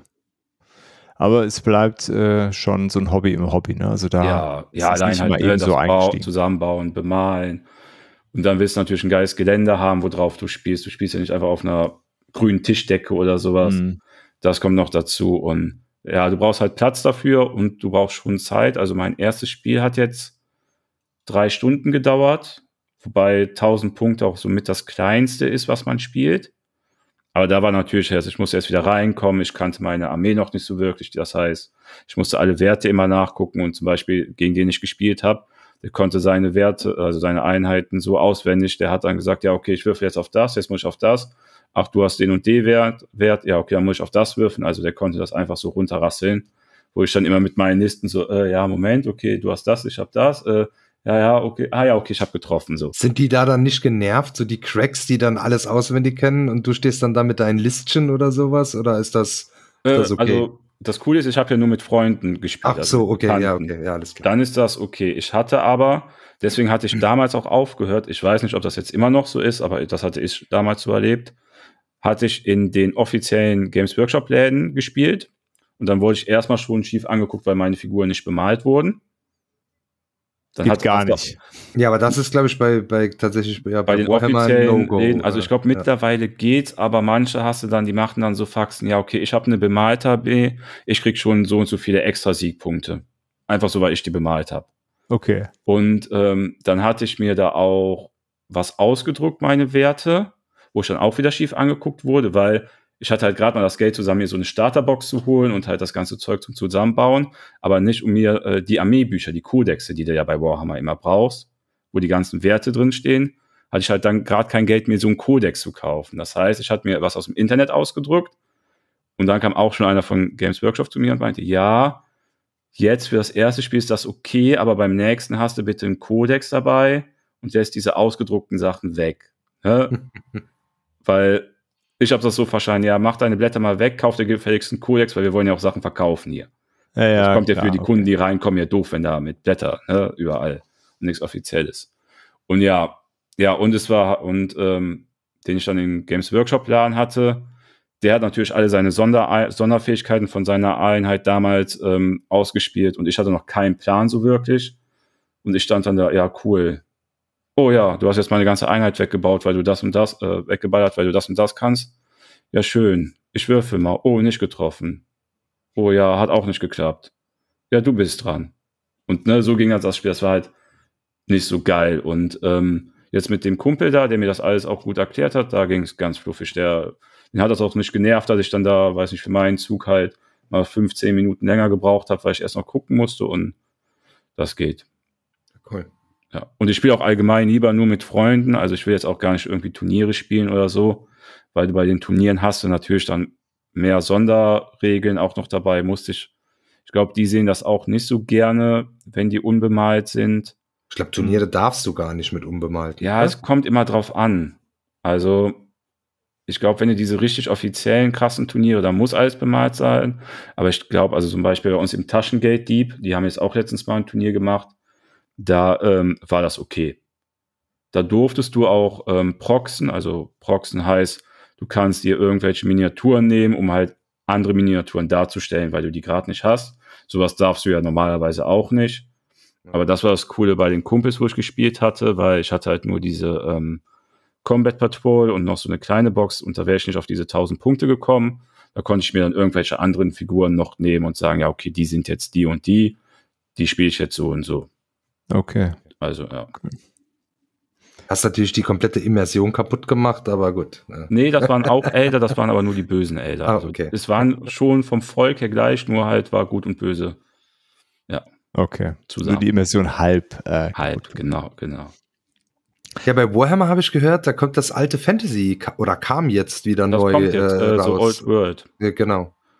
Aber da hatte ich am Anfang auch Bock, nur jetzt habe ich die Produkte gesehen, jetzt habe ich keinen Bock mehr darauf, weil ja, das ist ähm, war teuer und die haben die Modelle nicht neu gemacht. Das sind noch quasi die Modelle wie vor zehn Jahren oder noch länger. Ja, aber ich glaube, da geht's ja auch darum, dass die Leute ihren alten Warhammer Fantasy Kram dann auch weiter benutzen können, oder? Ja, nicht alles.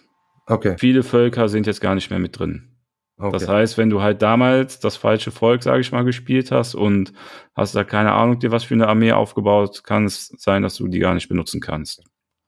Ja, ich kenne mich damit ja überhaupt Ja. gar nicht aus. Ich weiß halt nur hier unsere äh, Decent oder momentan Archies-Runde. Mhm. Ähm, das sind ja äh, zwei Warhammer-Spieler. Ja. äh, die haben da nur beim letzten Mal erzählt, dass das äh, Fantasy da Also es kann sein, dass sie das natürlich noch ändern, aber Stand jetzt ist halt, ne, es gibt eine begrenzte Anzahl von Völkern, weil The Old World spielt auch noch vor der Fantasy-Zeit von damals. Ich glaube 300, 400 Jahre oder so. Und da, ja, da gab es diese Völker halt noch nicht, oder die gab es schon, aber die sind nicht in dieser Welt dann Okay. aufgetaucht, weil das, äh, weil die Geschichte halt jetzt woanders spielt.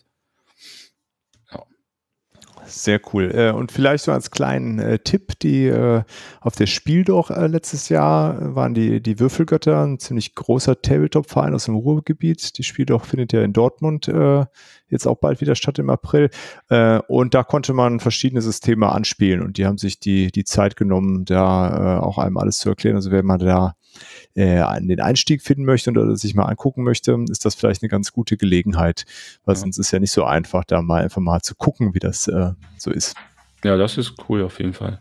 Also das hat mir äh, sehr gut. Das habe ich nämlich mit unseren beiden Jungs. Wir waren nämlich direkt morgens da und haben dann drei Stunden äh, Warhammer gespielt.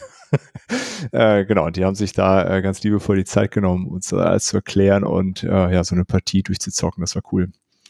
Das ist Ja. vielleicht äh, in dem Games Workshop auch nicht so. Und die hatten auch verschiedene Systeme. Also nicht nur die, die Warhammer-Sachen, sondern auch so ein paar historische Sachen noch da stehen. Ähm, Ja, das finde ich auch das Coole am Taschengate Dieb. Also die sind da auch deutlich lockerer halt, ähm, was das angeht, anstatt was ich jetzt aus diesen Games Workshop Läden kenne, weil ich war jetzt auch länger nicht mehr in einem offiziellen GW-Laden, weil ich da halt nicht so geile Erfahrungen gemacht habe. Und da ist das im Taschengate Dieb schon richtig angenehm auch. Cool. Gut, das war Warhammer 40k. Und äh, bei dir, Olli, gab es da noch was äh, für die Teens, oder? Genau. Und zwar die Zombie Teens, äh, Zombie Teens Evolution. Ähm, ich hatte so ein bisschen Schwierigkeiten, sogar meine drei Spiele äh, voll für heute, weil ich einige von meinen Dezember-Highlights äh, schon im Ludothekchen auch mit drin hatte. Ähm, und das wollte ich natürlich jetzt nicht doppeln. Ähm, aber Zombie Teens Evolution äh, haben wir auch wieder viel ähm, äh, gespielt im Dezember. Sind jetzt fast durch mit der Box. Es fehlen, ich glaube, jetzt haben wir insgesamt 27 Partien ähm, gespielt. Ich denke mal so fünf bis zehn brauchen wir noch, um, um alles freigeschaltet zu haben. Ähm, um was geht's da? Das ist ja quasi so ein Legacy-Spiel für, für Kids. Es gab auch schon das Zombie Kids Evolution und das hier ist so der, der zweite Teil. Das Kids selbst haben wir gar nicht gespielt.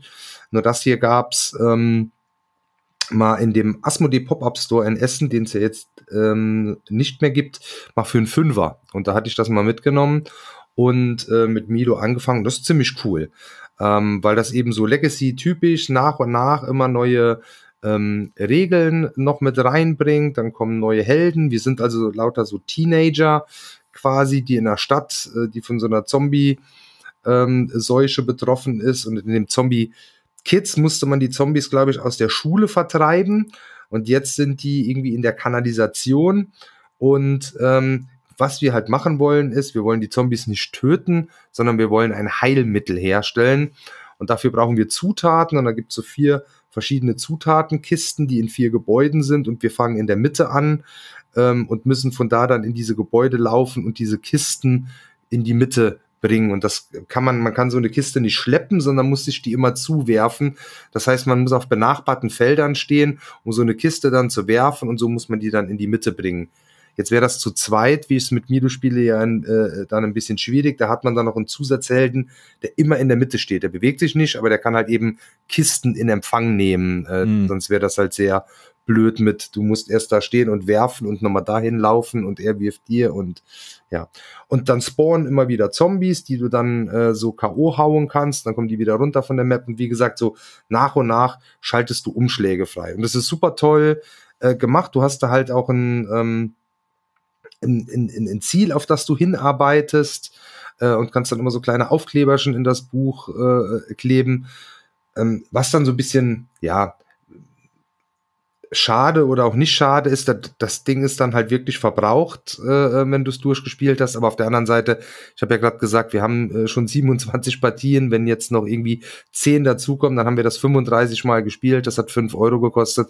Gut, ich glaube, offiziell ist der Preis irgendwo so bei 20, 25 Euro. Aber, Aber selbst dann Genau, äh, absolut ist das- vertretbar. Genau. Super äh, schön. Und geht auch relativ flott. Ich glaube, so um die 15 Minuten spielst du äh, äh, an einer Partie. Also das kannst du auch immer mal noch, noch abends mal noch eine schnelle Runde vor ähm, ins Bett gehen oder sowas. Äh, ja, tolles Ding. Ähm, hat mi- mir echt viel Spaß gemacht und, und Milo auch. Ist schon, äh, das muss man vielleicht noch dazu sagen, so ein bisschen Würfelglück. Du musst halt immer würfeln, wie die Zombies spawnen und wie die sich bewegen und was die machen. Und es gibt noch so Ereigniskarten. Und manche von diesen Zielen, die du dann erfüllen musst, um bestimmte Sachen freizuschalten, die sind schon echt knackig. Also da ist dann so, so ein bestimmtes Szenario. Du musst mit dem und dem Helden spielen und der Spielablauf ist so ein bisschen verändert und musst das so und so äh, schaffen. Also da gab es schon welche, wo wir dann auch durchaus mal fünf, sechs Mal gespielt haben, bis wir das dann so äh, geschafft haben, um, um, um diese Auszeichnung dann zu kriegen. Okay, sehr cool. Äh, und im Grunde auch für, äh, ja, für, für Kinder gar kein Problem, ne? Also trotz Zombies. Ja, also das ist, hat eine sehr kindliche äh, äh, Optik. Auch da, ich weiß nicht, ich kann immer nur ja für mein Kind sprechen, Ja, ja, will jetzt klar. niemand vorschreiben.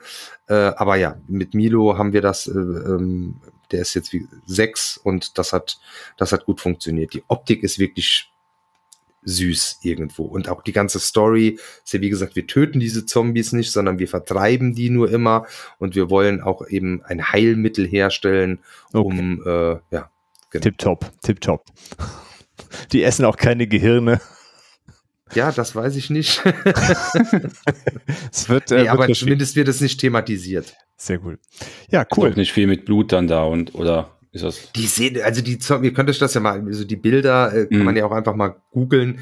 Die sehen halt schon zombie-mäßig aus, so ein bisschen, aber so lustig halt, so Comic, Ah, okay. comichaft. Äh, Ja, es gab früher so ein Spiel, da hatte mir ein Kumpel mal von erzählt, Zombie Teens oder so hieß das, glaube ich. Da war irgendwie die Story, dass ähm, alle Erwachsenen zu Zombies geworden sind und halt nur die Teenies und Kinder nicht.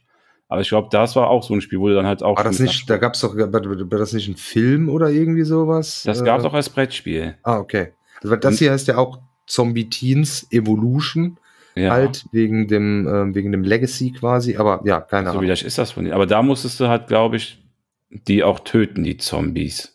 Meine ich. Ich glaube nicht, dass da was mit. Also ist auch schon Jahre her, wo mir der Kumpel davon mal erzählt hat. Und ja, hat mich gerade so ein bisschen Nee, das hier ist relativ neu. Das war ja auch, ähm, das war ja auch nominiert fürs Spiel des Jahres. Äh, Mhm. letzt, also jetzt ja schon vorletztes Jahr müsste das Genau, gewesen ne? sein. Ja.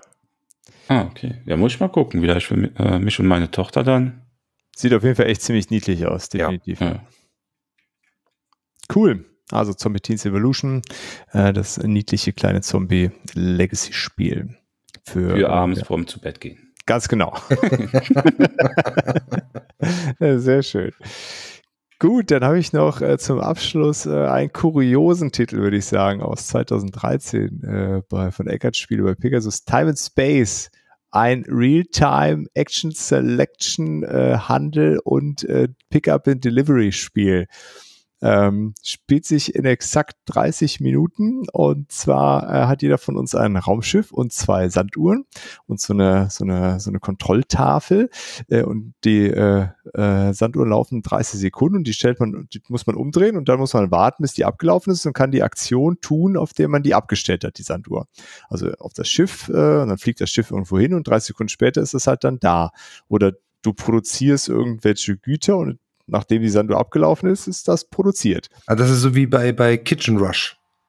Äh, Ah, weiß nicht, ob du das schon mal gespielt hast. Das habe ich ist nämlich noch nie gespielt. Ja, das ist Äh, halt, halt auch quasi so ein Worker-Placement, aber die Worker sind Sanduhren. ah, Und die okay. stellst du an irgendeine Tätigkeit und so lange dauert das dann eben. Ah, Dann okay. denke ich mal, Kitchen Rush ist ja neuer. ja. Dann haben ja, die das, von ist, da ähm, kopiert wahrscheinlich. Äh, klingt, klingt sehr ähnlich. So der, ähm, äh, die, die, die, die erste Runde, also die ersten 30 Sekunden sind total unspektakulär, weil alle drehen ihre Sanduhr um und es passiert gar nichts. so, aber das, äh, das, äh, das Witzige bei dem Spiel ist, ähm, du musst, äh, kriegst Punkte, indem du Waren ähm, ablieferst. Die musst du aber erstmal produzieren, diese Waren. Und die kannst du aber nur bei deinen Mitspielern abliefern. Und damit du die da abliefern kannst, müssen die Aufträge online stellen sozusagen oder bereitstellen. Die müssen sie auch produzieren. Also äh, schreien dann nach den ersten 30 Sekunden alle los und sagen, hier, pass mal auf, ich, ich mache dir einen Auftrag für drei blaue, dann kannst du mir drei blaue produzieren, dann schick, kommst du hier zu mir geflogen, zu meinem Planeten und dann, ah, nee, Moment, aber hier drüben. Äh, und es ist halt eine halbe Stunde heilloses Chaos. Man muss irgendwie gucken, wie man das hinkriegt, weil ähm, die Waren, die du produzierst und diese Aufträge, die du bereitstellst, die blockieren dein Tableau. Also du äh, kannst nicht einfach keine Ahnung, 1000 blaue Cubesets produzieren, ähm, sondern das, äh, da gibt es so einen kleinen Progress, du kannst auch dein Schiff aufrüsten, du kannst zwischendurch, wenn du da so rumfliegst, äh, Verbesserungsplättchen einsammeln, die musst du aber erst erforschen, wieder mit so einer Sanduhr. Ähm, genau. Ähm, total cool. Wir haben das äh, in, in der Pause zwischen, äh, während Twilight Imperium gespielt, das war so lustig. Nach dem Mittagessen haben wir, äh, musste der Große äh, zum Reiten und dann haben wir gesagt, ah, jetzt spielen wir noch kurz, was machen wir jetzt? Das können wir nicht einfach hier sitzen und warten. Äh, also haben wir noch Time and Space schnell gespielt, was dauert halt exakt eine halbe Stunde und erklären geht auch super schnell. Ähm, und dann haben wir Twilight Imperium weitergespielt. Hört sich ähm, sau lustig an. Habe ich noch nie, äh, noch nie was von gehört. Äh, ja, ich auch noch nie. Äh, und äh, ja, super lustiges Spiel, hat total Bock gemacht. Äh, und ja, echt so ein Kuriosum. Äh, vor allem diese äh, hohe Interaktivität, die du dabei hast, dass du äh, dir gegenseitig die Sachen produzieren musst, weil du ja im Grunde den anderen dann die Siegpunkte zur Verfügung stellst, in der Hoffnung, dass die das Gleiche für dich dann tun. Äh, und durch diese hohe Dynamik passt das dann am Ende auch. Und zwischendurch guckst du, also, wieso hast du schon so viele Punkte? Ich habe doch gar nichts, du musst auch mal bei mir was und so. Äh, sehr, sehr cool. cool. Hat äh, sehr viel, äh, sehr viel Laune gemacht. Und für äh, alle, weißt du, wie das mit der Verfügbarkeit dafür aussieht momentan, weil es schon so alt ist? Keine Ahnung. Keine, keine Ahnung. Da habe ich auch noch nie was von gehört. Nee, also äh, ist, glaube ich, schwierig mit der Verfügbarkeit. Mhm. Scheint mir nicht so ein, so ein Ding zu sein, was total populär gewesen ist und so ein bisschen unterm Radar geflogen. Ja, aber so ähm, hört sich schon ganz geil an, auf jeden Fall. Ja, definitiv. Also auch so ein als Absacker oder als Aufwärmspiel ähm, kann ich das durchaus empfehlen. Sehr, sehr lustig. Äh, vor allen Dingen für Leute, die gern irgendwie so Handel, äh, Handelsspiele mögen und mhm. da irgendwie Dinge diskutieren. Also für den Dennis bestimmt eine, eine heiße Empfehlung. Gut, das war äh, unser Rückblick äh, in den Dezember und dann haben wir noch, äh, noch mal einen Ausblick und zwar nicht für das ganze Jahr, sondern nur für was jetzt so al alsbald in Q1 erscheint, worauf wir uns freuen. Und da darf auch der Axel den Start machen. Okay, ähm, bei mir geht's schnell. Ich habe eine Sache, wo ich mich ganz besonders drauf freue, und zwar auf ISS Vanguard, die deutsche Version. Die müsste ich jetzt hoffentlich in den nächsten paar Wochen mal bekommen, weil der Frachter, der ist gestern oder vorgestern am Zielhafen angekommen, laut App. Und ich denke ja mal, mit dem Verteilen auf die LKWs dauert noch so zwei bis drei Wochen. Und dann habe ich endlich mal die deutsche Version da und da freue ich mich mega drauf einfach. Und ja, so habe ich noch gar nicht geguckt, weil es dieses Jahr so cooles kommt, weil ich habe auch noch zwei Kickstarter so noch laufen und ich denke, wenn ich ISS Vanguard habe, habe ich mit Solomon Kane Solo eh erstmal ähm, genug zum Zocken. Und ja, bin ich schon mal gespannt. Sehr cool. Ja, wir sind auch gespannt, was du dann berichtest. Ja, Olli, du hast das ja auch, ne? Kriegst genau, also ja, ich hab's nicht, äh, noch, ich warte auch drauf. Ich habe auch die deutsche. Also ja auch die deutsche, ne? Ja. Die deutsche gebackt. Ähm, was ich mittlerweile bei Awakened Realms nicht mehr mache. Da, so bei den neuen Sachen habe ich mir jetzt immer Englisch genommen, weil ähm, das schon irgendwie so ein bisschen, du äh, hast dann schon zwei Jahre lang oder so von dem Spiel gehört und gesehen und sowas, bis deins dann mal ankommt. Wobei es im Endeffekt, ja, dann hätte ich es, unter Umständen hätte ich zwei Jahre im Regal stehen. Ja. Ähm, ja, ich weil wenn es jetzt bei mir ankommt, ich, ich freue mich auch mega drauf, weil man hört hm. ja wirklich ähm, fast nur Gutes ähm, äh, davon. Bei mir kommt jetzt aber auch noch, und da freue ich mich noch ein bisschen mehr drauf, Mythic Battles äh, Ragnarök ähm, an hoffentlich. Ähm, wir hatten ja, also ich hatte ja mit Petros zusammen so diesen riesen Super All-In geplätscht, weil der ähm, halt einiges von Pantheon haben wollte und ich wollte von Ragnarök den All-In haben, der wesentlich kleiner ist als der Pantheon ähm, All-In, da gibt's ähm, viel mehr Sachen. Und äh, da haben wir am Ende gesagt, okay, dann nehmen wir einfach alles so zusammen und ich dachte ja, ich könnte vielleicht so ein bisschen noch refinanzieren, indem wir dann den Pantheon-Kram, äh, den wir, den Petros dann eben nicht will, weiterverkaufen. Äh, das ging äh, ziemlich nach hinten los, denn äh, Fantasy-Welt äh, hat ja die Preise für das Ding total gedammt. Also ähm, das war jetzt halt wieder so ein, glaube ich, ein Negativbeispiel für, für Crowdfunding, weil äh, ja, wir haben das vor, weiß ich nicht, über zwei Jahren bezahlt und jetzt kannst du dir bei Fantasy-Welt einfach mal die Core-Box mit den Stretch Goals für 140 oder sowas holen. Ähm, die Erweiterung, es steht ja in, in der Kampagne immer so ein ähm, MSRP äh, mit drin. Da, da waren dann Erweiterungen, da stand in der Kampagne, die sollen 70, 80 Dollar kosten und Fantasy Welt hat die dann für 35, 40 Euro jetzt äh, äh, rausgehauen. Ja. Mhm das äh, war halt so ein bisschen ähm, schwierig. Also habe ich da äh, am Ende dann sogar noch draufgelegt, weil wir jetzt den, na gut, im, im Insgesamten ähm, war es dann schon alles etwas günstiger, wenn ich den Kram jetzt so verkaufe, aber ich glaube, am Ende lande ich so auf den Preis, den ich jetzt auch im Retail bezahlt hätte. Aber vielleicht hast du wieder Glück. Ich habe gerade nochmal geguckt, momentan gibt's das auch nicht mehr bei Fantasy Welt. Das waren anscheinend auch nur diese paar Posten und das Hausspiel kriegst du schon nicht mehr da. Ah, okay. Okay, aber das Hauptspiel, das will ich auch nicht äh, ja. verkaufen. Ja, aber dann werden wahrscheinlich die Erweiterungen jetzt auch nicht mehr so viel ja, das kann, verfügbar sein, denke kann ich. Natürlich, äh, kann natürlich sein. Mal schauen. Aber da freue ich mich sehr drauf. Petros hat ja jetzt eben das Pantheon schon, da kamen wir aber auch noch nicht zu, ähm, das zu spielen, äh, weil jetzt im Dezember vor Weihnachten war alles ähm, ein bisschen, äh, ein bisschen stressig. Ähm, ja, aber das will ich jetzt auf jeden Fall bald mal zocken. Da verspreche ich mir nämlich auch sehr, sehr ähm, viel von, von all dem, was ich mir schon so angeschaut habe zu dem Spiel. Äh, könnte das oder hat das das Potenzial, mein Lieblingsskirmischer zu werden? Mal schauen, ob es das auch schafft. Sehr cool. Gut, dann steht sich mit, äh, mit einem Spiel, was vor kurzem erst angekündigt wurde, und zwar Wormspan, das ähm, ein Wingspan-Spiel äh, ja, bei Stonemeyer Games ähm, von ähm, äh, entwickelt von äh, Conny Vogelmann, die äh, Apiari äh, auch entwickelt hat. Äh, und ich habe dann, äh, ja, das ist, ist angekündigt worden und dann ging es ja so ein bisschen hin und her, braucht man braucht es einen Reskin für Wingspan. Das soll ja dann doch äh, mehr sein als nur Wingspan. Habe das dann, dann auch noch so ein bisschen nachrecherchiert und ein Video äh, von, äh, von Jamie Steckmeyer dazu geschaut, äh, wo er das so ein bisschen erklärt und ein Interview äh, auf Boardgame Wire mit, äh, mit der Conny Vogelmann gelesen. Ähm, ja, und es ist irgendwie ganz cool, was sie da, was sie sich da ausgedacht haben, weil es ist wohl so, dass ähm, auf Stonemeyer viele Leute hinzugegangen, hinzugegangen sind und gesagt haben, hier kannst du nicht irgendwie so Wingspan-mäßig, aber mit einem anderen Theme ähm, mal machen. Das war doch bestimmt Lars. Lars mit den Goblins und dann. genau. Wahrscheinlich. Äh, aber es, und es, es, wurde ganz oft wohl äh, sich Drachen gewünscht. Ähm, ja, und das haben sie dann sich hingesetzt und äh, Elizabeth Halfgrave hat das ähm, irgendwie redaktionell mit betreut, damit so der das Gefühl von Wingspan erhalten bleibt, aber es ist irgendwie äh, schon, schon genügend anders dabei, so wie das klang. Ähm, ja, sehr liebevoll illustriert, finde ich. Äh, also so ein Wohlfühlspiel auf jeden Fall ähm, von, von der Illustrationsoptik. Ähm, ja, bin ich sehr darauf gespannt, äh, was das kann ähm, und werde ich mir äh, sicherlich auch zulegen. Äh, ja, weil es einfach auch cool aussieht. Und ich der erste, äh, der erste äh, äh, Prototyp kursiert ja schon im Netz. Weiß nicht, ob ihr das, also bist ja nicht mehr bei Insta, aber vielleicht hat's das auch auf andere Kanäle geschafft. Das sind irgendwie so, ich glaube, das sind äh, äh, Niederländer, die haben so ein Video gemacht, wo sie halt ihre Wingspan-Box und haben dann selbst mit, mit, mit Kugelschreiber sowas gemalt und da drauf geklebt, das dann aussieht wie ein Drache und auch auf die Karten. Also alle Karten dann, also sieht so total billow aus, aber dann ja. so richtig witzig, so, hey, wir haben die erste Copy und äh, it's Dragons and you put eggs on dragons. ja, ich bin, äh, ich bin gespannt. Nee, das habe ich noch nicht gesehen gehabt. Äh, cool. ähm, ja, finde ich auf jeden Fall ganz cool. Äh, auch wie habe jetzt wieder festgestellt, wie äh, ich habe irgendwie eine Zeit lang äh, viel mehr die, die Videos von Jamie äh, Steckmeyer geguckt und dann eine ganze Zeit lang nicht mehr.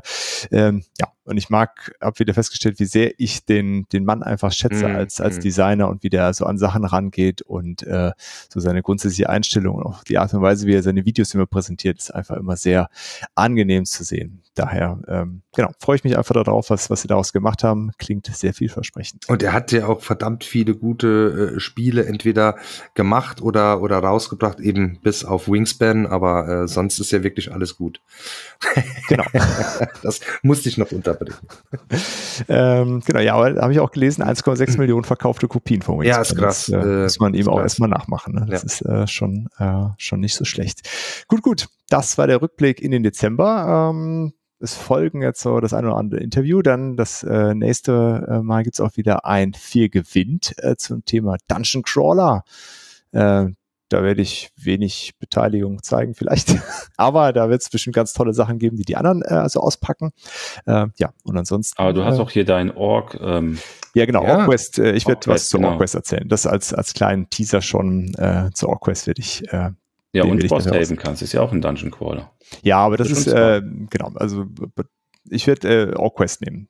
Also das schon. Das hören die Leute dann ja aber erst in zwei Wochen. Nächste ja, genau. Woche das Interview. Genau. Erst äh, nächste Woche äh, gibt es dann erstmal ein Interview. Gut, dann ähm, vielen Dank fürs Zuhören und bis bald. Ciao, ciao. ciao. ciao. Das war es auch schon wieder bei The Board Game Theory. Danke fürs Einschalten und wenn ihr mögt, hören wir uns nächste Woche schon wieder. Für Fragen, Wünsche oder Anregungen besucht gerne unseren Discord, schreibt uns auf Instagram oder per Mail an info at theboardgametheory.de oder schickt eine Postkarte. Wir würden uns außerdem darüber freuen, wenn ihr uns bei Spotify, Apple oder wo ihr uns sonst so hört, ein Abo und eine Bewertung dalasst. Vielen Dank und bis bald.